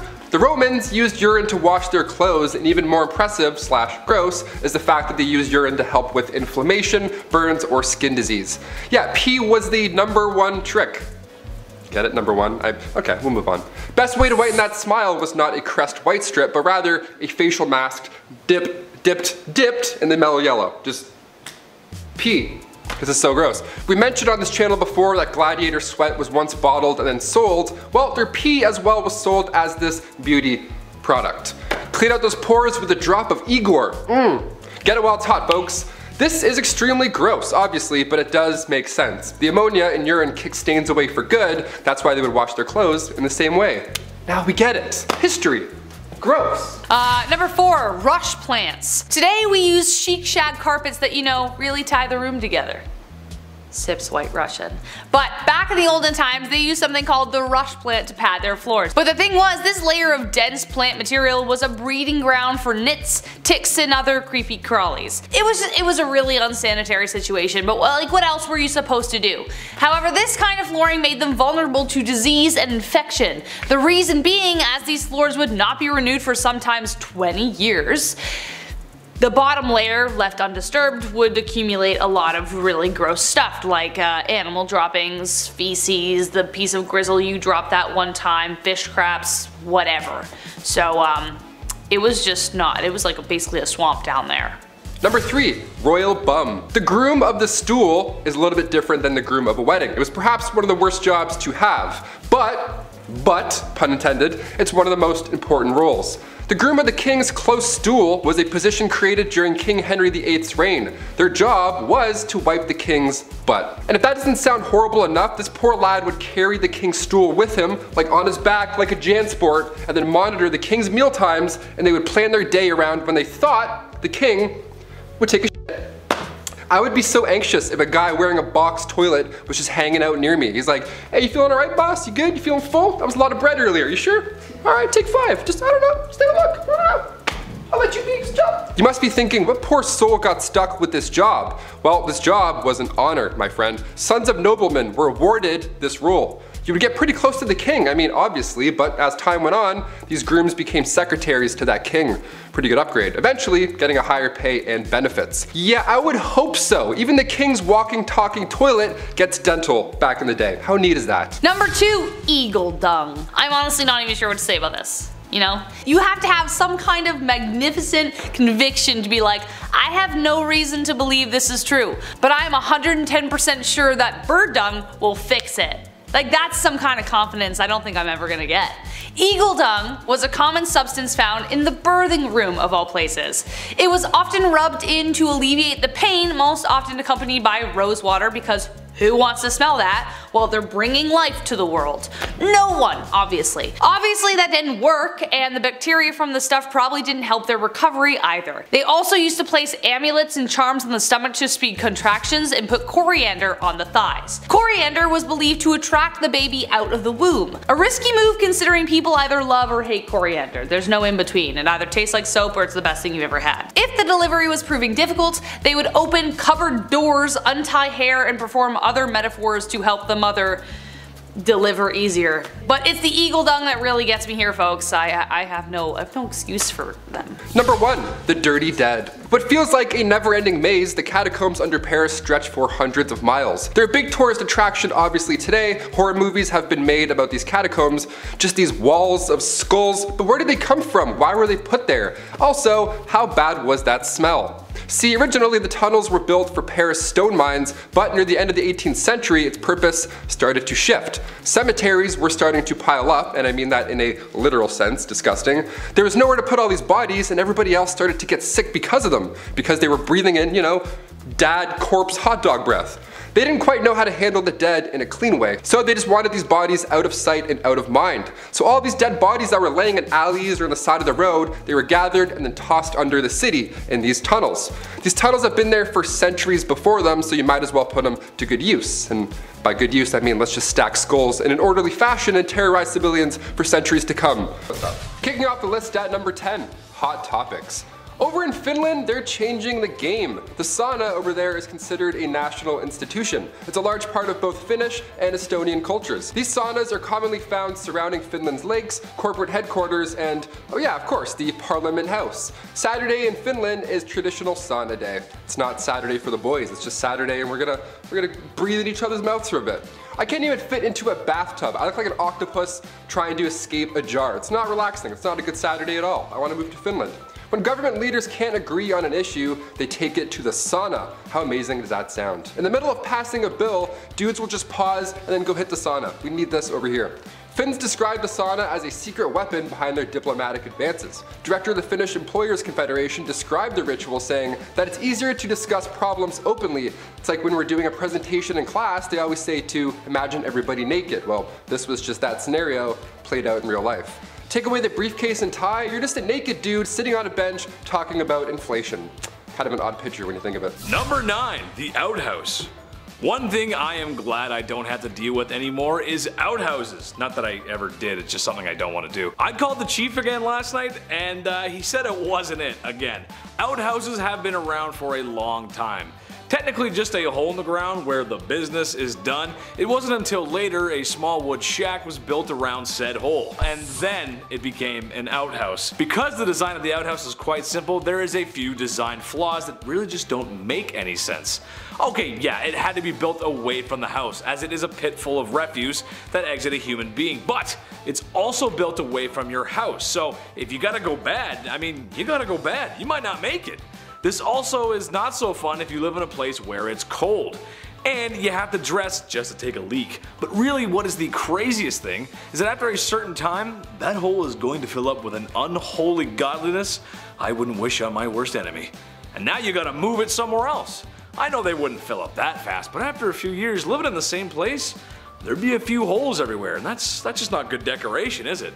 Not to mention, if you were living in the time of the expanding West, an unseen rattlesnake or scorpion could make the potty time your last. I'll just stay indoors, thanks. Number 8. There's not a Visine for that. Does anybody else sneeze when they look at the sun, or is that just me? Do I have issues? I have a handful of allergies, and one of them apparently is a star. That's neat. My eyes are literally always dry. I think I forget to blink. I'm not really sure what's going on. But today, there's a Visine, luckily, for everything. Eye drops are common, but written in the oldest book of medicine, the Ebers Papyrus, chock full of ancient Egyptian medical recipes, it contained old optical treatment. Even in Egyptian artwork, you can find ancient cataract treatments. British archaeologist Austin Henry Layard found these clay tablets from ancient Babylonia around 625 BC, and treatment for dry eyes was a little different than today. Today all you have to do is and you're good. Back then, you had to get chemicals from plants and then mix them with prayers. Good game, good luck. One ancient tablet described the treatment of the time, saying, If a man's eyes are affected with dryness, he shall rub an onion and then drink a beer and then apply oil to his eyes. Just mix all that put it in your mouth, and then thou shalt disembowel a yellow frog mixed in its gall and curd and applied to its eyes. I don't even know what the that means. Like imagine getting that on a prescription. You're like a yellow frog? What? Now here is a name we all know well, but not for this reason. Number seven is Wed in Absentia. Marie Antoinette and Louis were married before they ever even met. On April 19, 1770 in Vienna, Marie's older brother Archduke Ferdinand was the stand-in for her soon-to-be groom. Ferdinand literally stood at the altar as Mary walked down. They exchanged their vows, exchanged the rings, jury's out on if the kiss part happened, but it was actually two days later that Marie left the country for the real deal wedding and groom. If you want to learn more about being wedded in absentia, how that works and where it comes from, check out my recent vid, The Top 10 Messed Up Marriage Traditions in Ancient Rome. It's on May 16th of 1770 that she and Louis are finally properly married at Versailles, a day after meeting for the first time in person. As was the custom, the groom's grandfather accompanied the newlyweds to the bedchamber. He blessed their bed, kissed them both, left them to produce a royal heir. However, this teenage couple was hiding a dark secret behind bedroom doors. Not only did they not have a baby, but they didn't even try. The couple didn't consummate their marriage for seven years, and it caused a massive scandal. How could they not produce an heir? It was her job as a queen, and Louis needed to maintain the royal lineage. Historians have speculated why the couple didn't consummate their marriage all that time. So did the public in the 1700s, but the reasons are usually dumb witchcraft stuff. Nowadays, it's assumed maybe Louis had a condition that affected his abilities, or maybe she experienced too much pain when they were trying. Honest answer, I think it's because they were young. The two probably weren't ready, and puberty probably hadn't done its thing and given them the drive. Either way, scandal ensued, and the story ultimately ends with heads rolling. This modern blonde is a different story, however, because she came just short of being the, the runaway bride. Number six. As a wedding planner myself, I can tell y'all it's supposed to be tears of joy on your wedding day, not tears of get this bastard away from me right now, so help me God. Which was kind of the vibe that Prince Charlene of Monaco's wedding to Prince Albert II gave. Prince Albert and then Charlene Wittstock met in 2007 at the Mare Nostrum International Swimming Meet in Monaco when Charlene was an Olympic swimmer. They were engaged by 2010, but unfortunately, Albert really liked having extramarital affairs. He had two children out of wedlock, as is, and then, per Vanity Fair, to quote, days before the wedding, it was reported that the future bride had attempted to flee Monaco after discovering that Albert, already the father of two illegitimate children, had fathered a third love child during their five-year courtship. Then the video footage of their wedding on July 1st of 2011 pops up, and the bride has just bawling. Photos where she isn't, it's evident her smile is painfully forced. Post-wedding and the paternity lawsuit thrown at Albert, Charlene has gone on to insist that the wedding was the happiest day of her life and she felt absolutely zero despair. Her crying was the result of being overwhelmed. Since plenty of rumors of more affairs, potential divorce, and separate homes have arisen, nothing can be confirmed nor denied. And the couple remains married, raising twins. Here's a fun one, number five, the Cougar Duchess. According to the Guinness Book of of world records, nobody on earth has held as many titles as the Duchess of Alba named Marie. She was known as a mover and shaker in the European social scene and regularly rubbed shoulders with everyone from royalty to Hollywood stars to ordinary people. With her striking frizzy hair, sometimes dyed red and most of the time white, Maria always displayed an eccentric, often outrageous fashion style. Throughout her 70s and 80s, she wore fishnet stockings and beaded anklets paired with loud dresses and lavish designer jackets. In other terms, she's your aunt that refuses to age has no kids, a cool crib, and pulls up to the family function in a fur coat and leather skinnies at age 88. She was a badass. She was also married three times and widowed twice. What caught the public eye was that husband one and two were both younger than Maria. The second husband by 11 years, and then the husband she was married to until she died, that's the one that caused scandal. He was 25 years her junior, Alfonso Carabantes. Spanish King Juan Carlos openly labels Alfonso as a gold digger, hoping to get his hands on Maria's extensive fortune. All of six of her kids are horrified and do the most to try and stop the wedding. But the Duchess told Spanish radio all of her children had been divorced, so they have no right to give her lectures on morality. I don't know why my children are causing problems. We aren't hurting anyone. Alfonso doesn't want anything. He's renounced everything. He doesn't want anything but me, she said. The couple was said to have had a super happy marriage until her death three years later in November of 2019. And speaking of age, how about the new religion in at number four? At the beginning of Henry VIII's reign in 1509, the British crown showed no signs of wanting to leave Catholicism. Yet when Henry started pining for Anne Boleyn, who refused at first, like unlike the other courtly women and her own sister, to put out no matter what he did, it drove the man crazy with desire, right to the point he made the unprecedented decision to straight up divorce his first wife so he could marry Anne. The first wife, Catherine of Aragon, had been passed down like a family heirloom to Henry when his older brother Arthur died. Henry wasn't the biggest fan and had already been denied an annulment in 1527, so in 1533, Henry just married Anne in secret. She was already pregnant with Elizabeth, and the ceremony took place in the middle of the night just before dawn at Whitehall. There was only four or five witnesses, mostly Henry's close friends, and then the marriage was kept under the strictest secrecy because Henry, of course, didn't have permission from the Pope to divorce, let alone remarry. When the Pope raises a fuss, Henry's reaction is to just casually declare himself the head of the Church of England and completely splinter the religion from Rome, thus starting a whole new branch of a religious faith. As if forcing an entire country to switch religions for your marriage wasn't controversial enough, he later beheaded his wife for reportedly cheating on him.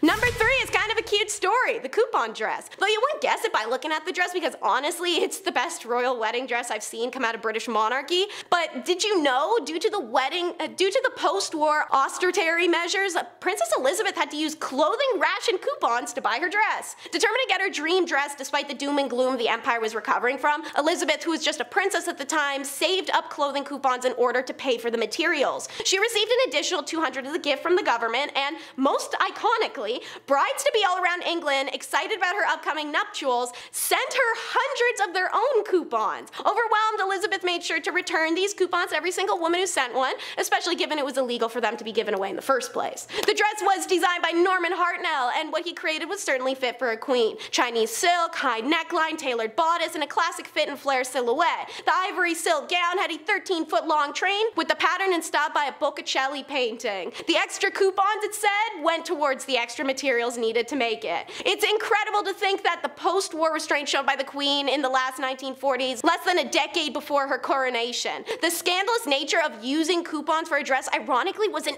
afterthought, mostly pulled up once she became queen much later to try and besmear her for cheapness. Speaking of Elizabeth, for number two, we'll talk about the snub. I don't care for royal drama, but the world knows that Diana was a gem, so Camilla can eat it. As you know, Diana was the lovely bride of Charles, the gross cheating weasel. To play devil's advocate, he always wanted Camilla and only her. The queen and other royals kept them apart, and as a result, poor Diana suffered. Once she met her tragic end, Charles went happily about doting on Camilla as per usual. And now in recent times, as we all know, he married her.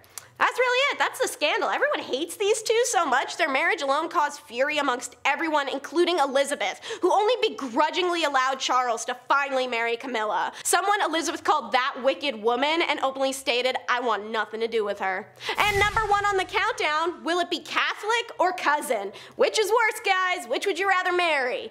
Well, in 2023, there's nothing wrong with marrying the first option, but you should not be considering the second. Don't do that. But George IV, Prince of Wales, decided married both. In 1785, George secretly married Maria Fitzherbert, a twice divorced commoner. I know. To make matters worse, she was Catholic. So not only was this match not approved, but at the time it was super illegal and technically made their marriage invalid. While courts and commoners and nobles alike berated the couple and scathingly referred to Maria as a mistress instead of their queen, these two lived happily together for a super long time. But the prince was a tad broke. He spent all his winnings lavishly and in order to settle the debts he'd built, the parliament concocted a rather evil scheme. We'll pay it off, give you a new fortune, but you have to publicly deny being married to Maria. Well, he left her high and dry, that's to say the least. George is then set up by the same parliament with a dashing young lass, his first cousin, named Princess Caroline of Brunswick. The two were not attracted to each other, had nothing in common, nothing to talk about, didn't even like each other. A match made in heaven, obviously. They agreed to a marriage which was commenced on the 8th of April, 1795, the first day they ever meet in person. Kicking off the list at number 10. Wiper No Wiping. On part 3 of the series, we of course brought up the worst job in royal history, the groom of the stool. Wiping was a royalty. We didn't have the fluffy bear family telling us to hashtag enjoy the go where they used an incredible amount, just a wasteful amount of toilet paper. Those bears, so wasteful. We had to improvise back then and use leaves. And by we, I mean medieval peasants, not us. We discussed Romans just pooping through cold cement benches, but what did they use to wipe after the fact?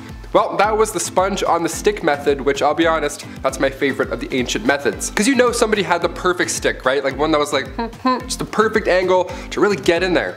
No, the sponge on the stick wasn't that fun at all. It was actually communal, it was all bad. You had to share it, be like, oh, okay. Here you go, sir. Early Americans used brick-lined pits, and that was their washrooms. This was around the time of the Declaration of Independence, and besides human waste, people would dump anything in these toilets. They found a window in one of these pits. A window. Some poor guy hit a window. Can you believe that? And as for wiping, are you ready? Dried corn on the cob, that's what they would use. Yeah man, next time you do that corn on the cob butter trick where you like spin it through the butter, all nice and smooth, keep that in mind. Number nine, just pull it. We've talked about brushing your teeth with urine, we've talked about using horsehair for dental floss, but can it get even more bizarre when it comes to oral cleanliness? Yes. We still do this method today. If a tooth is beyond repair or it's causing an infection in your jaw, yeah, just pull that sucker out. See ya. Sometimes it's the only option. Sometimes. Back in the day though, this was the best and only method. Sore tooth, maybe a cavity, something's not feeling right, maybe your gums are just hurting, maybe you bit down on a bone, no problem. Pull it. No matter what the case is, just yank it out. Dentists weren't a thing in the Middle Ages. Dr. Downer didn't politely remind you to floss more, you know what I'm saying? But they did have a barber the fastest dentist in the game. Barbers are responsible for obviously cutting hair, but they too would pull teeth and they would bloodlet. This guy must have been in the weeds every single day. He was so busy. Yeah, just a little off the top, maybe a little bit of blood at this, a couple of molars too, classic 3 in 1 appointment, you're good. Debit.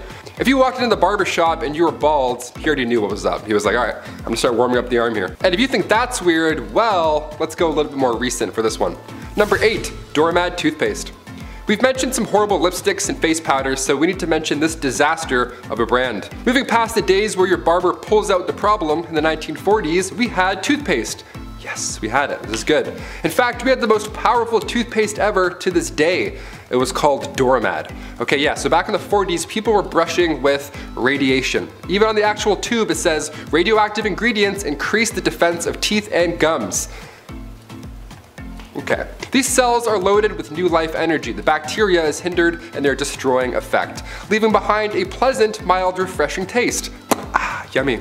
Its radioactivity was low in comparison, but the fact that this existed once not too long ago is just wild to me. Good gums don't bleed, they actually glow. What would their slogan be today? Doramad, accelerate your breath. So on the topic of witnesses, how did that get started? Up next is witness schmitness.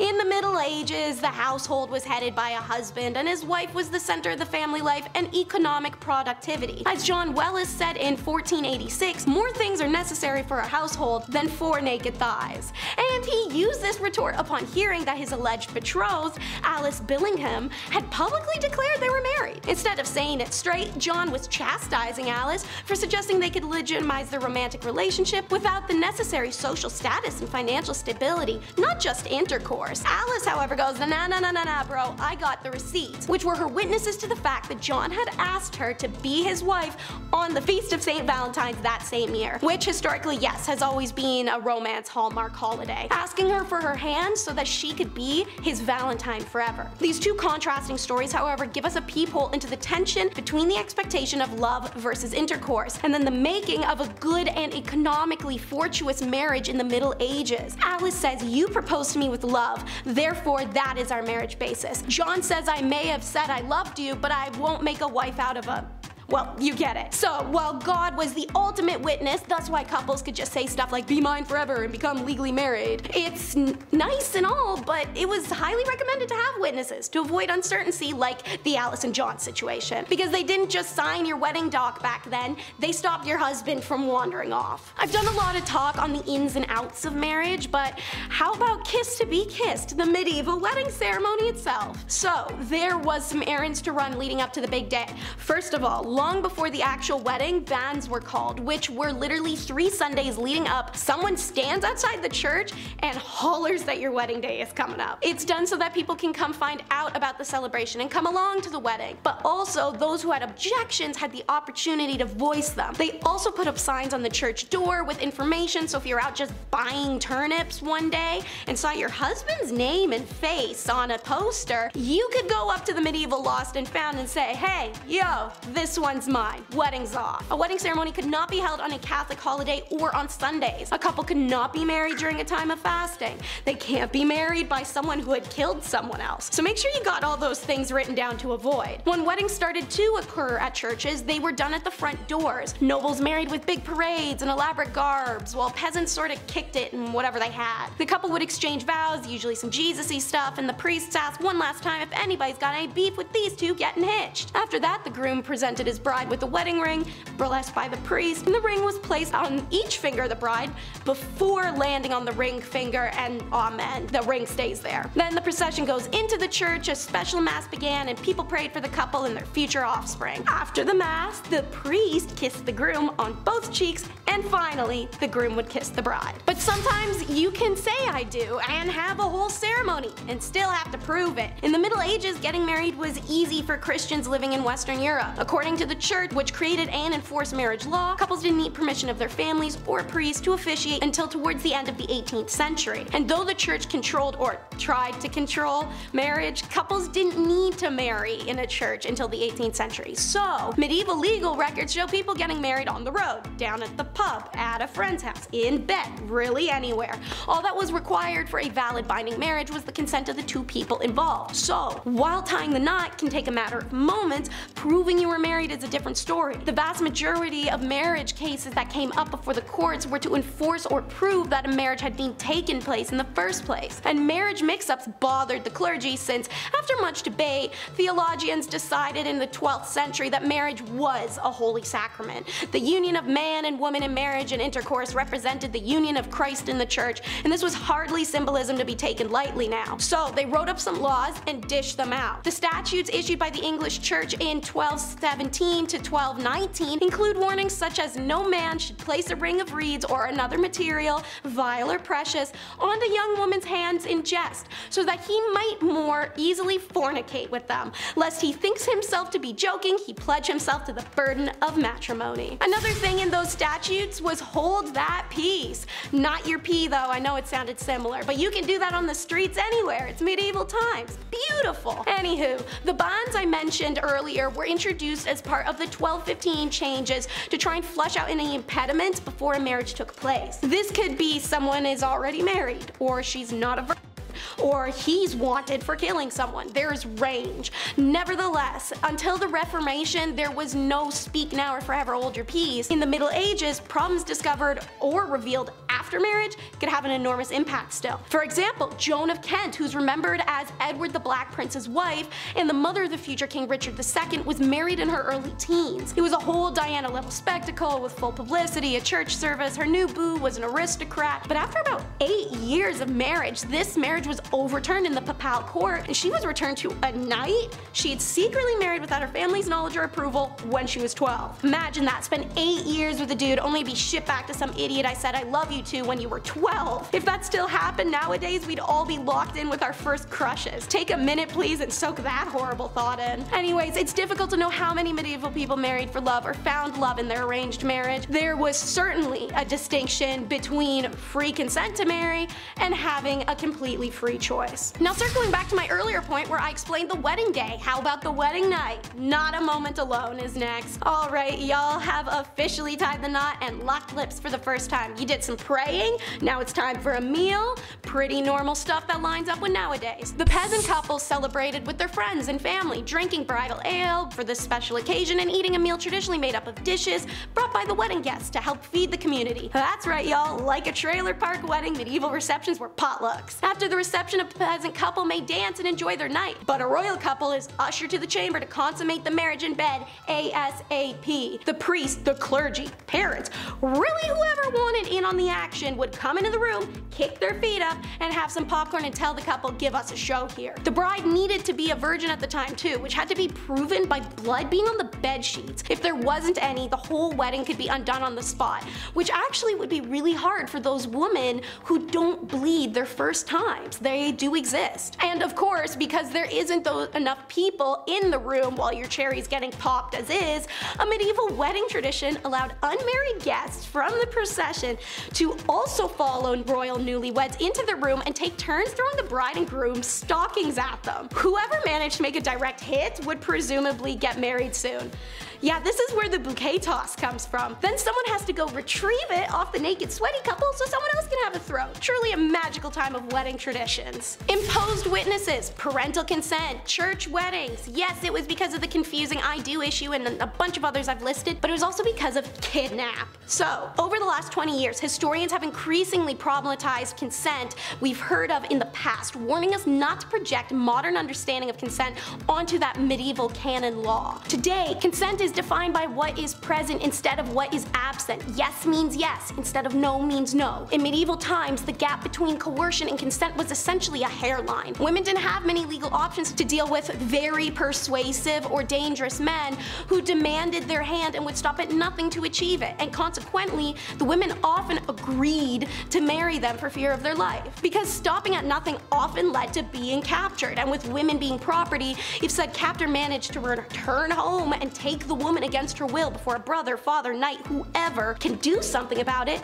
she becomes his property. These abductions then regularly end in marriage because of the damage of the deflowering caused to the victim's reputation. She'd never be wanted by anyone else, and so the POS who can't understand the word no wins. To delineate between consent and coercion, canon laws dropped in the 1200s stated that the degree of pressure applied on an individual could not sway a constant man or woman, meaning that neither family members, romantic partner, a stranger, anyone could exert pressure on an individual to force their consent. However, the degree to which force is interpreted and is defined by each city or community. Some communities stay stuck in old ways. And last but never the least is apparently you can be too into your wife. So, marriage aside from being a means of property exchange was also used by the church to regulate adult activities and carnal desires of the everyday person. Because any intercourse outside of marriage was a universal sin, but intercourse in marriage is only acceptable for procreation. Which means the church is trying to peddle that a good intimacy relationship was beneficial to your marriage, but neither desire nor pleasure should be involved or play a role in it. Because that's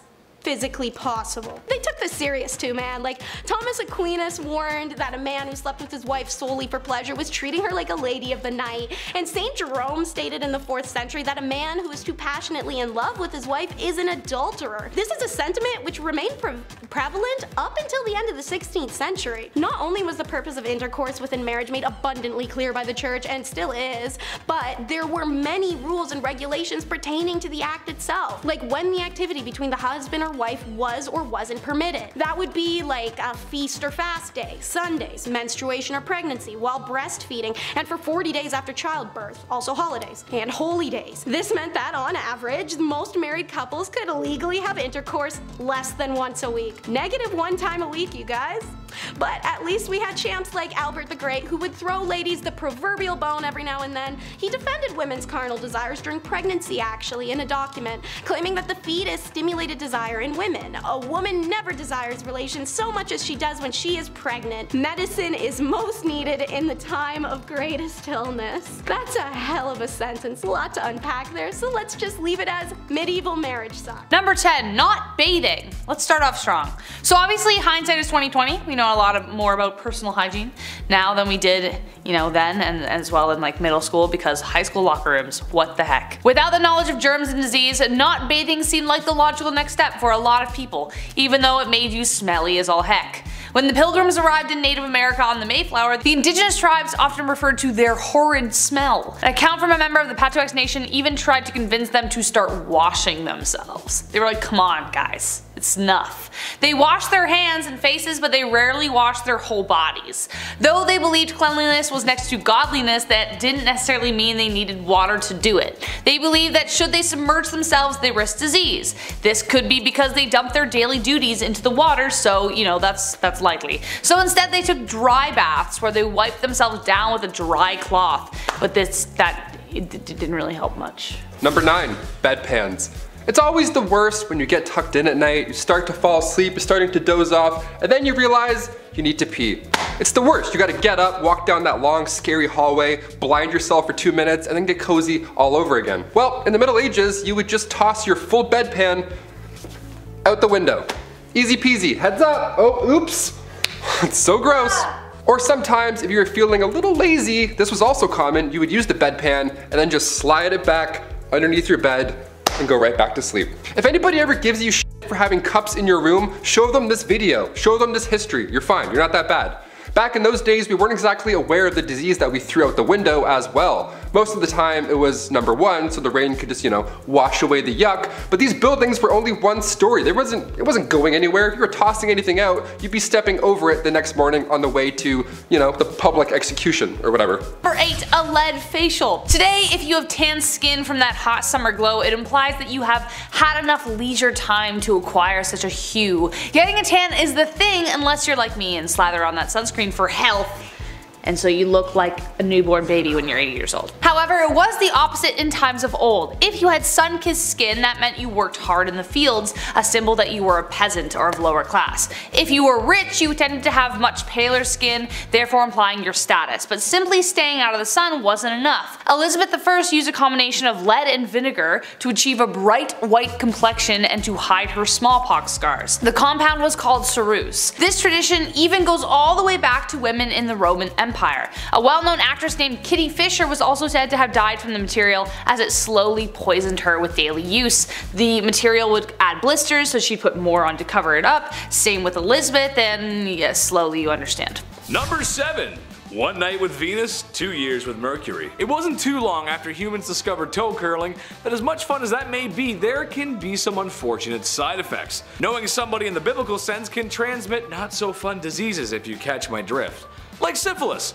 Early stages being sores and uncomfortable rashes, late stages having much more serious side effects, like blindness, heart disease, and oh yeah, it can make you go crazy. So throughout history, and especially before there was antibiotics, how do you treat a disease so common amongst people participating in the devil's dance?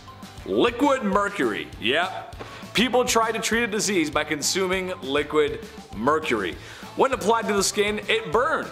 Therefore, if it hurts, it works. It was noted that syphilis would go away after mercury treatments, but this could have just been a stage of the bedroom rodeo disease as its symptoms disappear right before things get bad. This is also assuming that people taking mercury aren't getting sick of mercury poisoning in the first place. This practice continued way longer than it should have as it wasn't until discoveries made in the 1900s that a better option for treating the brothel related illness.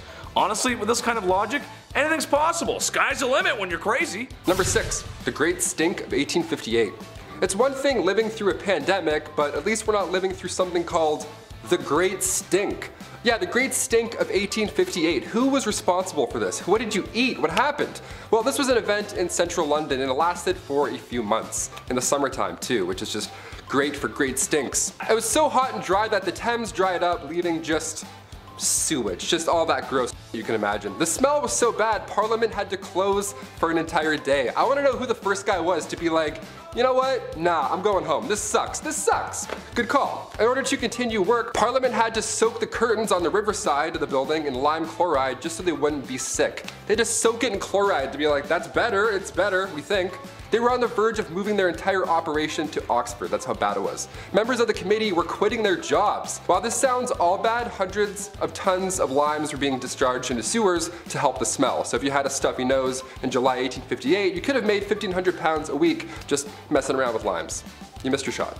Number 5. The Human Fly Trap. This is honestly so five-head. A brilliant play.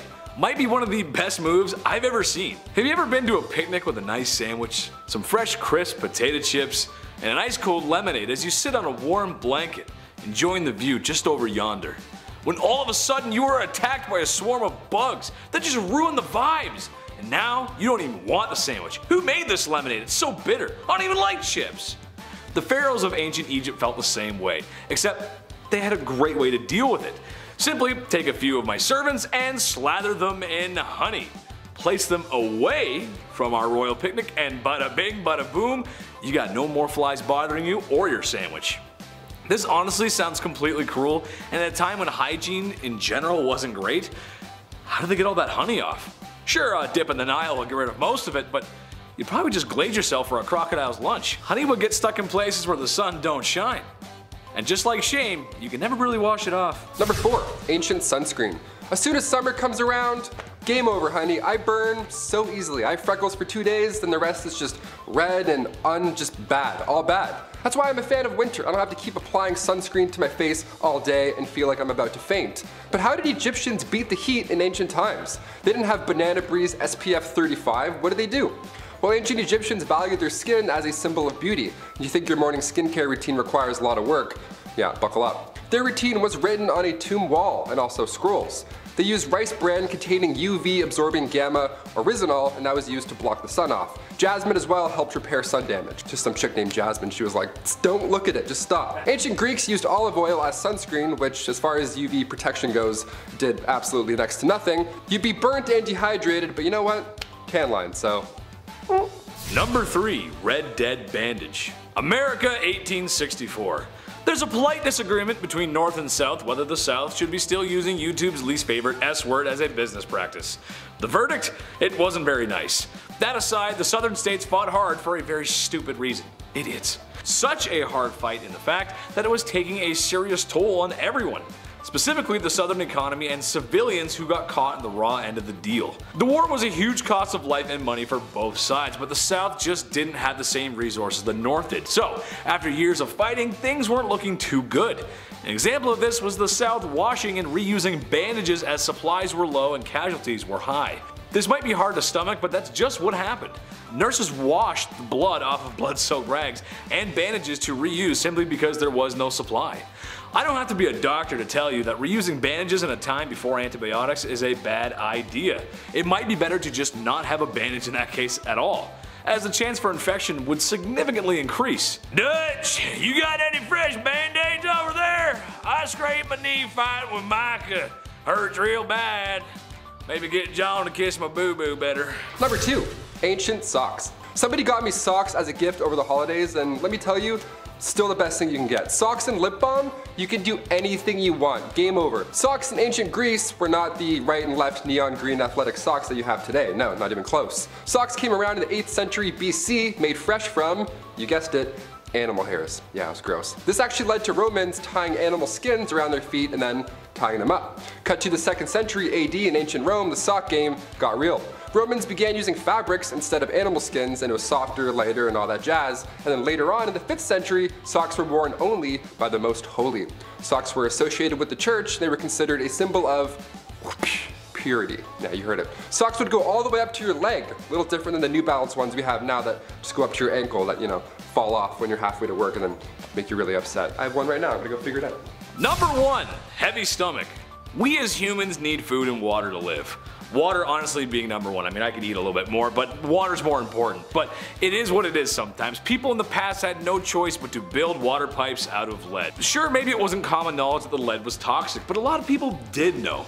So that's why all the cities that sparked up during the Industrial Revolution were built with such. Lead as a material did make sense as it was cheap and easy to use, so that simply outweighed the health risk of lead poisoning.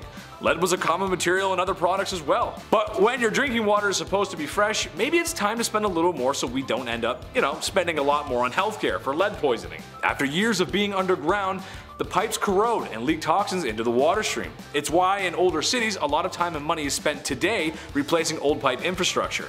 To me, it's a classic case of, eh, let somebody else deal with it, I'm sure it's fine.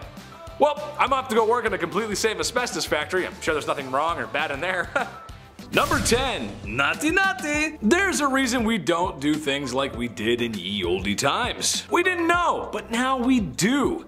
So there's really no excuse for acting up. A very common practice for marriage back in ye olde times was to marry a girl at the age of 12. And in case you're wondering, no, the man was nowhere close to the same age. Yes, it's just as gross as you think. No, I'm not happy talking about it, but that's just the way things went. I can just imagine how happy those young ladies were when their parents came to them and said, listen, the lord across town fancies you and the dude's got the bag. So you're gonna marry him so mommy and daddy can get the bag too. Just one example of the medieval business transaction. I mean, marriage marriage, marrying for love. Number 9. Pull up a chair. The people of my generation either struggle to phone the doctor to make an appointment because of crippling anxiety, or they flaunt it on OnlyFans. There's no in between. However, I still think most people would feel uncomfortable finalizing their marriage in front of a party of witnesses. I honestly cannot think of a more awkward situation. Do you cheer them on? Are, are there sports commentators talking about the moves? Are there snacks? you could be there for 30 seconds, or 10 minutes depending on who you're watching. It just seems like a lot of unpleasant viewing to walk out of a room later to then all agree that yes, yes indeed, that couple is married now. But hey, that's just how it went. Witnesses or family would watch you do what animals do on the Discovery Channel. Number 8. The Birth Factory. Soap and sanitation is one of the greatest things ever invented. Don't you just love taking a hot shower after a long day? Oh, I know I do. Hygiene was not the greatest back then, and while not the only factor, it did contribute to a high infant mortality rate. It was just one of the many factors. So, when young women were married, and married rather quickly, it was time to start pumping babies out. It's more of a quantity over quality kind of thing. Before marriage was declared a holy sacrament, these things were happening everywhere. Pubs, town squares, heck, even in your house. Now, for the people at home, can you tell me how you feel about the holy sanctity of marriage? Especially if you've been married for more than 10 years. Does it feel good? I bet it does. Number 7. A June wedding. As we're counting down this list slowly but surely, you've probably begun fantasizing maybe about your own wedding one day. Maybe it's a beach wedding, maybe it's themed like a winter wonderland. Doesn't that sound cozy? It's your big day, get creative. They say the best month to get married is June, and from a Canadian point of view, I can absolutely agree with that. In ancient Roman times, however, getting married in June was a must, not just a thing you wanted to do. See, June was the month of the god Juno. They protect women in life when it comes to marriage and childbirth, so if it's between that and like, I don't know, Halloween, obviously we're gonna go with June. Better omens for sure. Another myth is that bathing was rarely done back then, so when majority of the population did finally, you know, wash up at the end of May or beginning of June, that's often when it would happen, everybody smelled nice, they felt good, and they wanted to celebrate. So it was perfect timing. Better get me while my pits smell good, you know? That's a myth, but I can also see it checking out. A June wedding in ancient Roman days was also done so that after a spring birth, the mother can quickly hop back into action and help with that summer's harvest. Maternity leave who? Never heard of her. At number 6, hashtag twinning. You know how at weddings the bridesmaids are usually wearing matching outfits? Well this tradition dates back centuries, though it has changed slightly over the years. Remember how I mentioned that people would sometimes try to kidnap the bride on her wedding day? Well other than the best man and the groomsmen trying to play their part in protecting the bride from being taken, the bridesmaids also played a part in that too. The bridesmaids used to dress identically to the bride so that it would make it harder to spot her and therefore prevent anyone from kidnapping her. This practice dates all the way back to ancient Rome and feudal China and didn't really start to fade out of tradition until around the 1880s.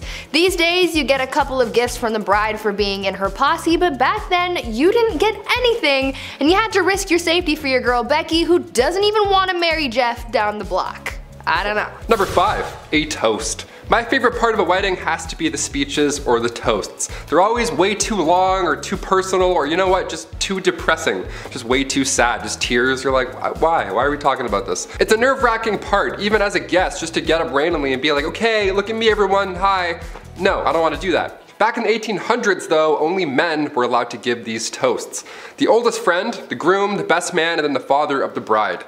The whole thing would have been done in 8 minutes. Guys suck at speeches. They're just like, uh, uh, a lot of ums, that's all I'm saying. Wedding toasts go back as far as the 6th century BC. When Greeks were getting married, the father of the bride would drink the first glass of wine just to make sure it wasn't poisoned or anything. Romans would also drop a piece of burnt toast into the wine in order to make the wine taste less bitter, hence the term toast. Yeah, now we get it. Yeah, wine was so bad back then, they had to use burnt toast crystal light just to get through the day. Yuck. At number 4, transaction. I find it to be just a little bit messed up how before now marriage was mostly about money or status and not about love. For a long time people didn't get to choose who they got to marry and there was almost always some kind of monetary transaction involved in the wedding. This whole idea here is a reason for the traditional act of the bride's father walking her down the aisle and giving her away so to speak. In the past fathers of the bride and groom would come together to establish an agreement like X amount of money for someone's daughter or whatever. Once that was set up the wedding became a big deal to see if the transaction would actually go through and many precautions were put in place to make sure that no one backed out. One of those precautions was the act of the father walking his daughter down the aisle. This was done so that they stayed close to one another in the off chance that the groom or his family decided to back out. That really took the romance and sparkle out of weddings now. Number 3. Wedding cake. As the youngest of three, I can confirm that we get away with the most. The youngest often do. The middle child is just plain ignored, then the oldest, well they usually have the most responsibility in the family. Usually when a bride and groom cut the cake on their big day, it's for them. They save a piece till their anniversary, they put it in their partner's face, it's fun, whatever they want to do. Often in history, the eldest child would get the first slice. How lucky is that? When it came down to cutting the actual cake too, well that meant that the bride is no longer a virgin. It's an awkward few bites. Wedding cakes today are delicious and they're pretty much an art form. TV shows are devoted to them, like Cake Boss and other cake shows that I can't think of. If you're lucky, you might find a few cake charms on the inside as well back in the day. Real, non-edible cake charms. You wanted to find these in your cake, they brought good omens to the table. To find a rocking chair meant that you're going to live a long life. An anchor means you're bound for adventure, sailors ahoy. And a purse meant that you would have good fortune. Let's just hope you didn't find the charms with your teeth or else you would be using said new fortune fixing your chiclets. Very metal, very real. Not good. At number 2, plague flowers. In a lot of weddings, the flowers are very important. There's the flowers for the centerpieces, the bouquets for the bride and bridesmaids, there's flowers everywhere. Get your Benadryl. But why is that? Well, the idea of carrying a bouquet at a wedding dates back to ancient Greece where it was believed that carrying a bouquet was thought to ward off evil spirits, but a little later on down the line, the presence of bouquets at weddings got a little bit darker and a little more precautionary. During the Middle Ages into the Renaissance, when the Black Death was running rampant throughout Europe, people were trying anything and everything to try and ward off the plague. Back then, people believed that smells carried contagion, so people would would fill their pockets with fragrant things to keep the plague at bay. This was later integrated into wedding practices and brides started carrying around a bouquet of stinky stuff like garlic and dill to protect them from catching anything. Over the years these stinky stuff was replaced with nice smelling flowers, but really, no one cares what's in the bouquet anymore because all people want to do is participate in the wedding hunger games and fight to the death to catch the bouquet at the end of the night. Why? Why are we hurting each other for this? Why? And finally, number one, wedding rings. One ring to rule them all. Perhaps the most important piece of the wedding puzzle, rings. Whenever somebody is about to pop the question, everybody around them always needs to see the ring. Congrats, let me see the ring. Oh my god, is it this, is it this? Egyptian pharaohs first used rings to represent this eternal life. The circle has no beginning or ending. They created this concept that we adore to this day. The center of the ring was also believed to be the gateway to the unknown. Finger just disappears, you're like, what the these Egyptian Ouroboros rings were the first, a snake eating its own tail, hashtag love. When Greeks came in the picture, they took this tradition, started using copper and iron rings in ceremonies, and the iron rings had a key symbol on them, meaning that the wife now has control of the house. If you like it, then you should have put a key on it. Come medieval times, the ring gets another upgrade. Now we have these precious gems to be added to them, a little bit more glam. Rubies symbolized passion, sapphires symbolized the heavens, and diamonds to show strength, because they were rock hard, and obviously you know the rest. Come the 12th century, the Christian church declared marriage as a holy sacrament, so rings were solely used now for that ceremony. That's when the engagement ring came into place. There needed to be another trade or promise that was just as strong as a wedding band. So now there's rings for pretty much everything. Number 10, spinning.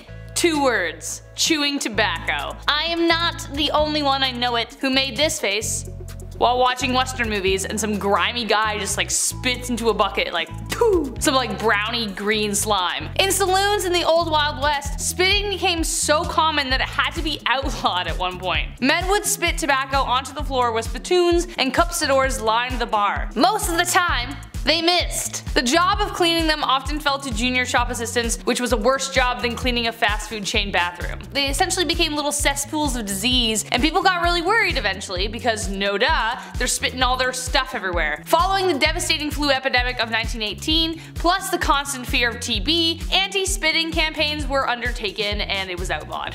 Number 9. Shine bright like a diamond. If somebody told you that your face was glowing back in the late 30s, that would be the highest of all compliments. You'd be like, oh my god, thank you. I am not a vampire, but thank you. Thoradia was a beauty product company that made radioactive creams, radioactive powders, radioactive lipsticks, anything to get your glam on, all for the price of radioactive products. It didn't end well. This is insane to me. They took pride in using thorium and radium lead to tone facial tissues and remove wrinkles and all that jazz. And the product was doing so well that it circulated in Italy, Portugal, Romania, Egypt, Belgium, and France. Worldwide. It wasn't until 1937 until the French government caught on to these little pesky side effects, some would call. So the radium would literally make your skin glow a bit. That was the pull. That was like the, no way, really? Debit. And alongside the glow, also you were having insane side effects that would ruin the rest of your life. Maybe that's Paul Rudd's secret. If his jaw starts to fall off, we'll know something's up perhaps. Number 8. The Humors. Nope, this is not a joke. ha, though it sounds like it. Ever heard the phrase to be in good humor? Well, it goes back to this. I mean, probably. I actually don't know, but it sounds like the two are connected. The four humors were the basis of medical treatment in medieval times. The idea was introduced by Hippocrates all the way back in ancient Greece, which combined ancient science, naturalistic knowledge, and philosophy. The four humors were blood, yellow bile, black bile, and phlegm. They were organized to represent the four elements, the four qualities of cold, hot, moist, and dry, as well as the four seasons and planets. If something was wrong with you, then it was because one of the humors was out of whack. If you were depressed, something was wrong with your black bile for instance. Do I know what black bile is? No, I don't want to ever know. Are you too hot? Well, bloodletting will be the solution for that. The factors controlling your humoral makeup involved sex, age, temperament, and many more. Bloodletting was the most popular way of balancing the humors, and it was assumed to have a relationship with most diseases, from smallpox to pseudoscientific hysteria. What, you horny? Let's bloodlet ya. Number 7. Mouse skins. It honestly seems like we really can't get our eyebrows right. In the early 2000s, they were plucked within an inch of their life. Today we have brow pencils, waxing, soap brows, which I really don't understand. Back in Elizabethan times, they were plucked entirely off of the face to make foreheads look bigger. And now there's this trend. Eventually, bountiful eyebrows came back into fashion, and for those women who weren't blessed with such brows, resorted to mouse traps. That's right, in order to get that luscious furry frame above their eyes, they would catch mice, skin them, and apply them to their eyes. Yay! In the 17th and 18th century, more specifically, women of nobility were known for shaving off their eyebrows entirely and stick on the mouse skin. It was better if the mice had really dark fur because the popular look of the time was pale skin and black eyebrows. Gee, I wonder where Snow White came from. But even more hilariously, They would place their brows higher than normal so they walked around looking surprised all the time. Imagine one of them receiving the worst news possible while simultaneously looking like they just won the lottery. Also, the glue wasn't very good, so they would fall off at leisure. Your mom died. oh no, Oh, like what the heck? Number six, horsehair dental floss. Yeehaw! Okay, despite how annoying dentists can be sometimes, flossing is vital when it comes to mouth cleanliness. But using horses' hairs to do so, that just sounds counterproductive, no? Early human remains were studied and it showed these grooves in between their teeth. So they would sharpen these little sticks on both sides or use horsehair to get those hard to reach places. Even back then, way in ancient times. If it wasn't horsehair, it was thin long twigs. Honestly, I'd rather use the twigs. At least that has like a scent of some sort. I don't know, like mint, minto green, something like that. Horse back? No. It really wasn't until 1815 until a New Orleans dentist named Levi Spear started to use silk thread to floss in between the teeth instead of hair. Thank you, Levi. As fun as horsehair flossing sounds, I'm gonna stick to the spearmint. S spearmint. Levi Spear.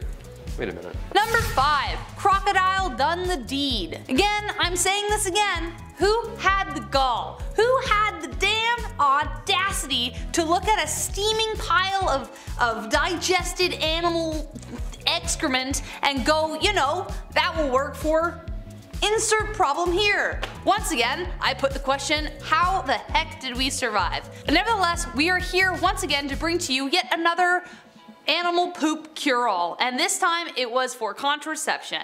Yes, in ancient Egypt, women would use crocodile dung as a contraceptive. Yay! Now, crocodiles were worshipped and sacred to the ancient Egyptians, so that could be one reason why they thought it would help. They would mix it with sour milk, sour milk, to make it a pasty kind of poop dough with a hope that would create an acidic barrier to sperm. Kind of like a dungy version of a diaphragm or a cap used today, but covered in spermicide. We had to start somewhere, but I honestly can't think of a better way to kill the mood. Hold on, honey. Gotta shove some poop out there. Number four, sulfur for freckles. Ooh, this next one gets me hot. This next one hits too close to home. Sorry, frecklers. I love my freckles. Every summer they pop harder and harder. Better, faster, and stronger. I love them. But back in the day, there were some pretty insane methods to get rid of them. I know, get rid of them. How could you, right? How dare you? Having freckles in ancient Roman days meant you couldn't participate in your favorite magical rituals. yeah, sorry Balthazar. I'll catch the next meeting, I guess. I'm gonna go wash up. Having freckles meant you were impure or polluted. And in ancient Greece, having a beauty mark or a thousand on your face or cheek meant a bright future was in store for you. So depends really where I am. but kind of, I'm like, huh? Medieval Europe, moles or freckles meant that you were for sure a witch. Great. That one they're kind of, they're, they're onto something a little bit. I got witchy vibes. Ancient China, if you had a red or black mole, that was actually a good sign.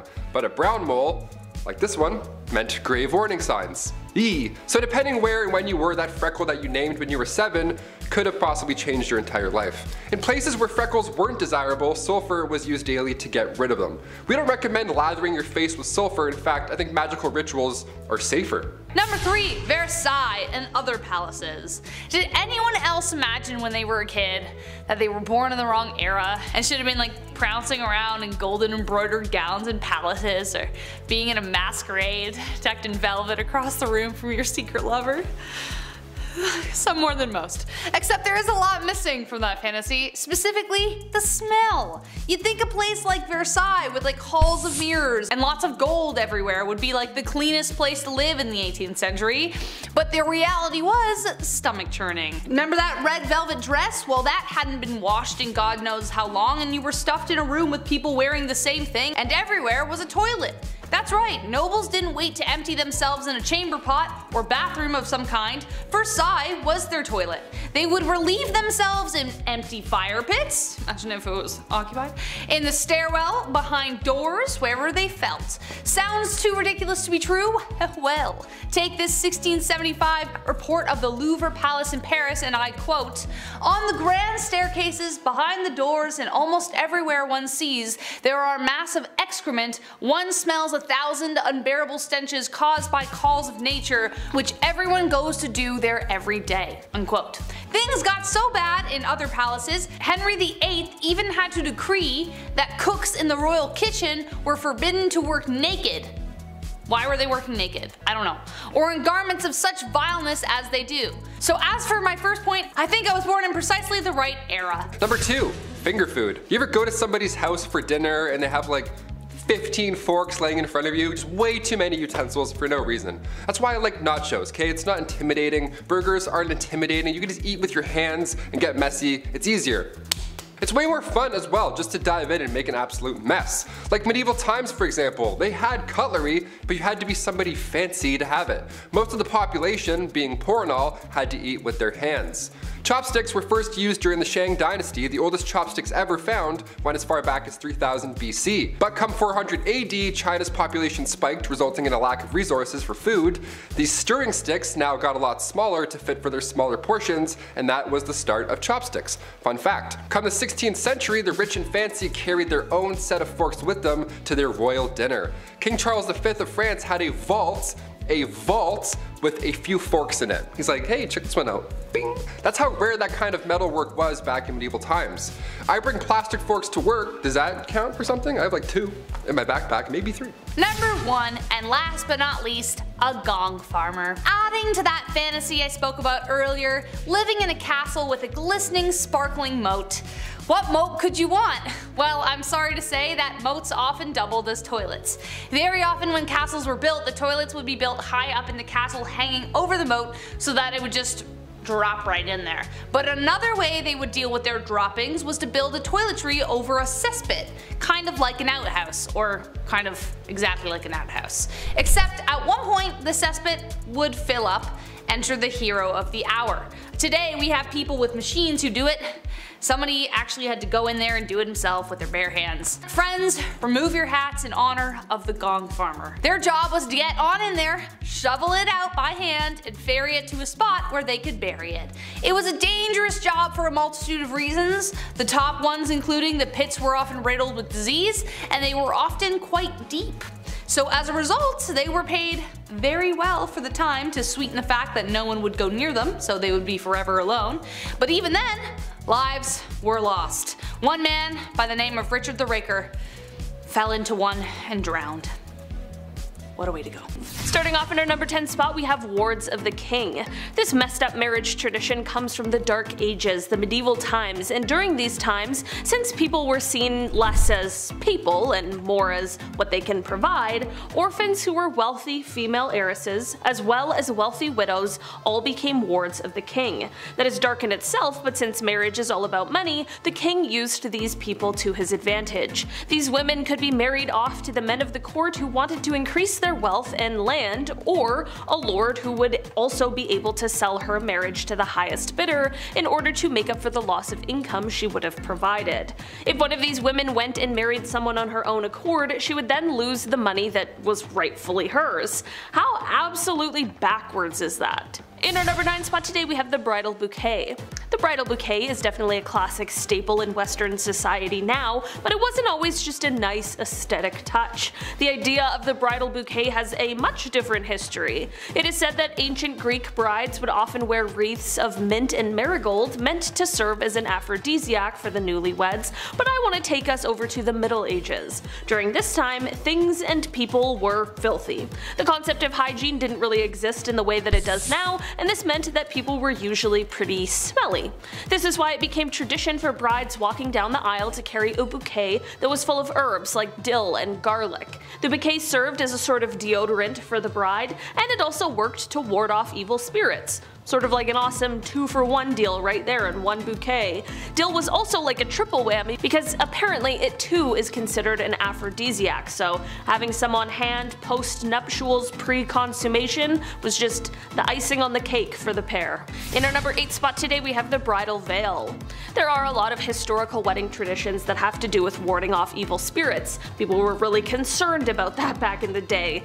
This is one of the major factors behind why the bridal veil was created. Back in Roman times, the veil was actually a red sheet called a flammeum, which was meant to look like fire so as to scare off any evil spirits that were lurking around. In Greece, the veil was often yellow for the same reason. Over time, the color changed, but the intent remained the same. It was worn as a sort of protection. In the end, another reason for the use of the veil was to assist in arranged marriages. What I mean by this is that back in the day, when marriage was simply more of a business exchange than anything, sometimes veils were used to hide the identity or appearance of the bride from the groom.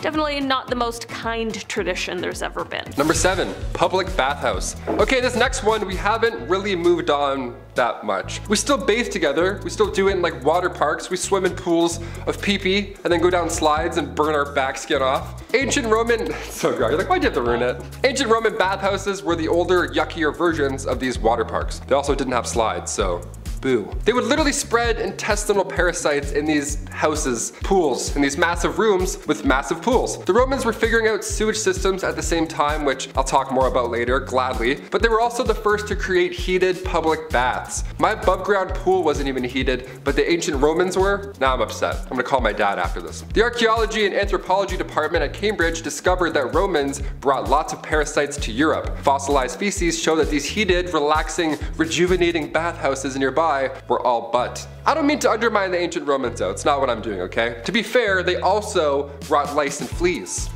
Number 6. No hand washing.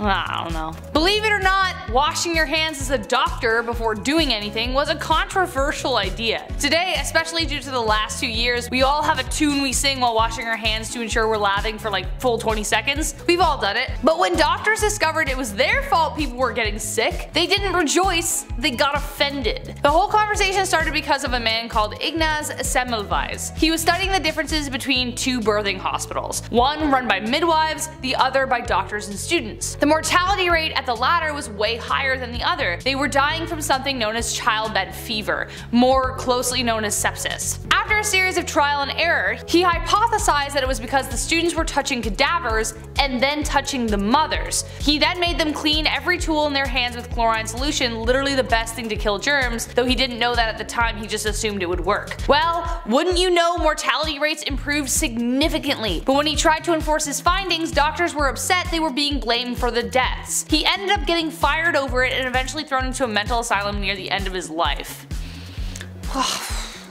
Considering what we know now, that's rough. Number 5 dark dental days. Dental health is important. We have the charcoal toothpaste trend that I myself even hopped onto recently. But why are we even doing it? Do we know? Other than it's on TikTok? Well, it helps remove stains, but aside from that, there's no hard evidence that this is the next best brushing method. We do it because it's popular. It feels like we're missing out on something. Well, Queen Elizabeth I apparently had a pretty strong desire for a Mars bar too, but back in the day, they didn't have TikTok. Brushing wasn't cool, nor was it perfected in any sense. The Queen's teeth became riddled with cavities. Her teeth straight up began to rot, and subsequently turn black. But seeing as she's the literal queen, people wanted to be just like her in any way. She started a short-lived trend where women blacken their teeth on purpose just so they would appear rich enough to afford sugar. That's wild. That's like me walking around in a neck brace being like, oh yeah, I crashed my Lamborghini. I totally have one of those. Number four, arsenic. I think they were confusing this chemical with Accutane, which is a chemical we use today to treat acne, but for a while, arsenic wafers were used.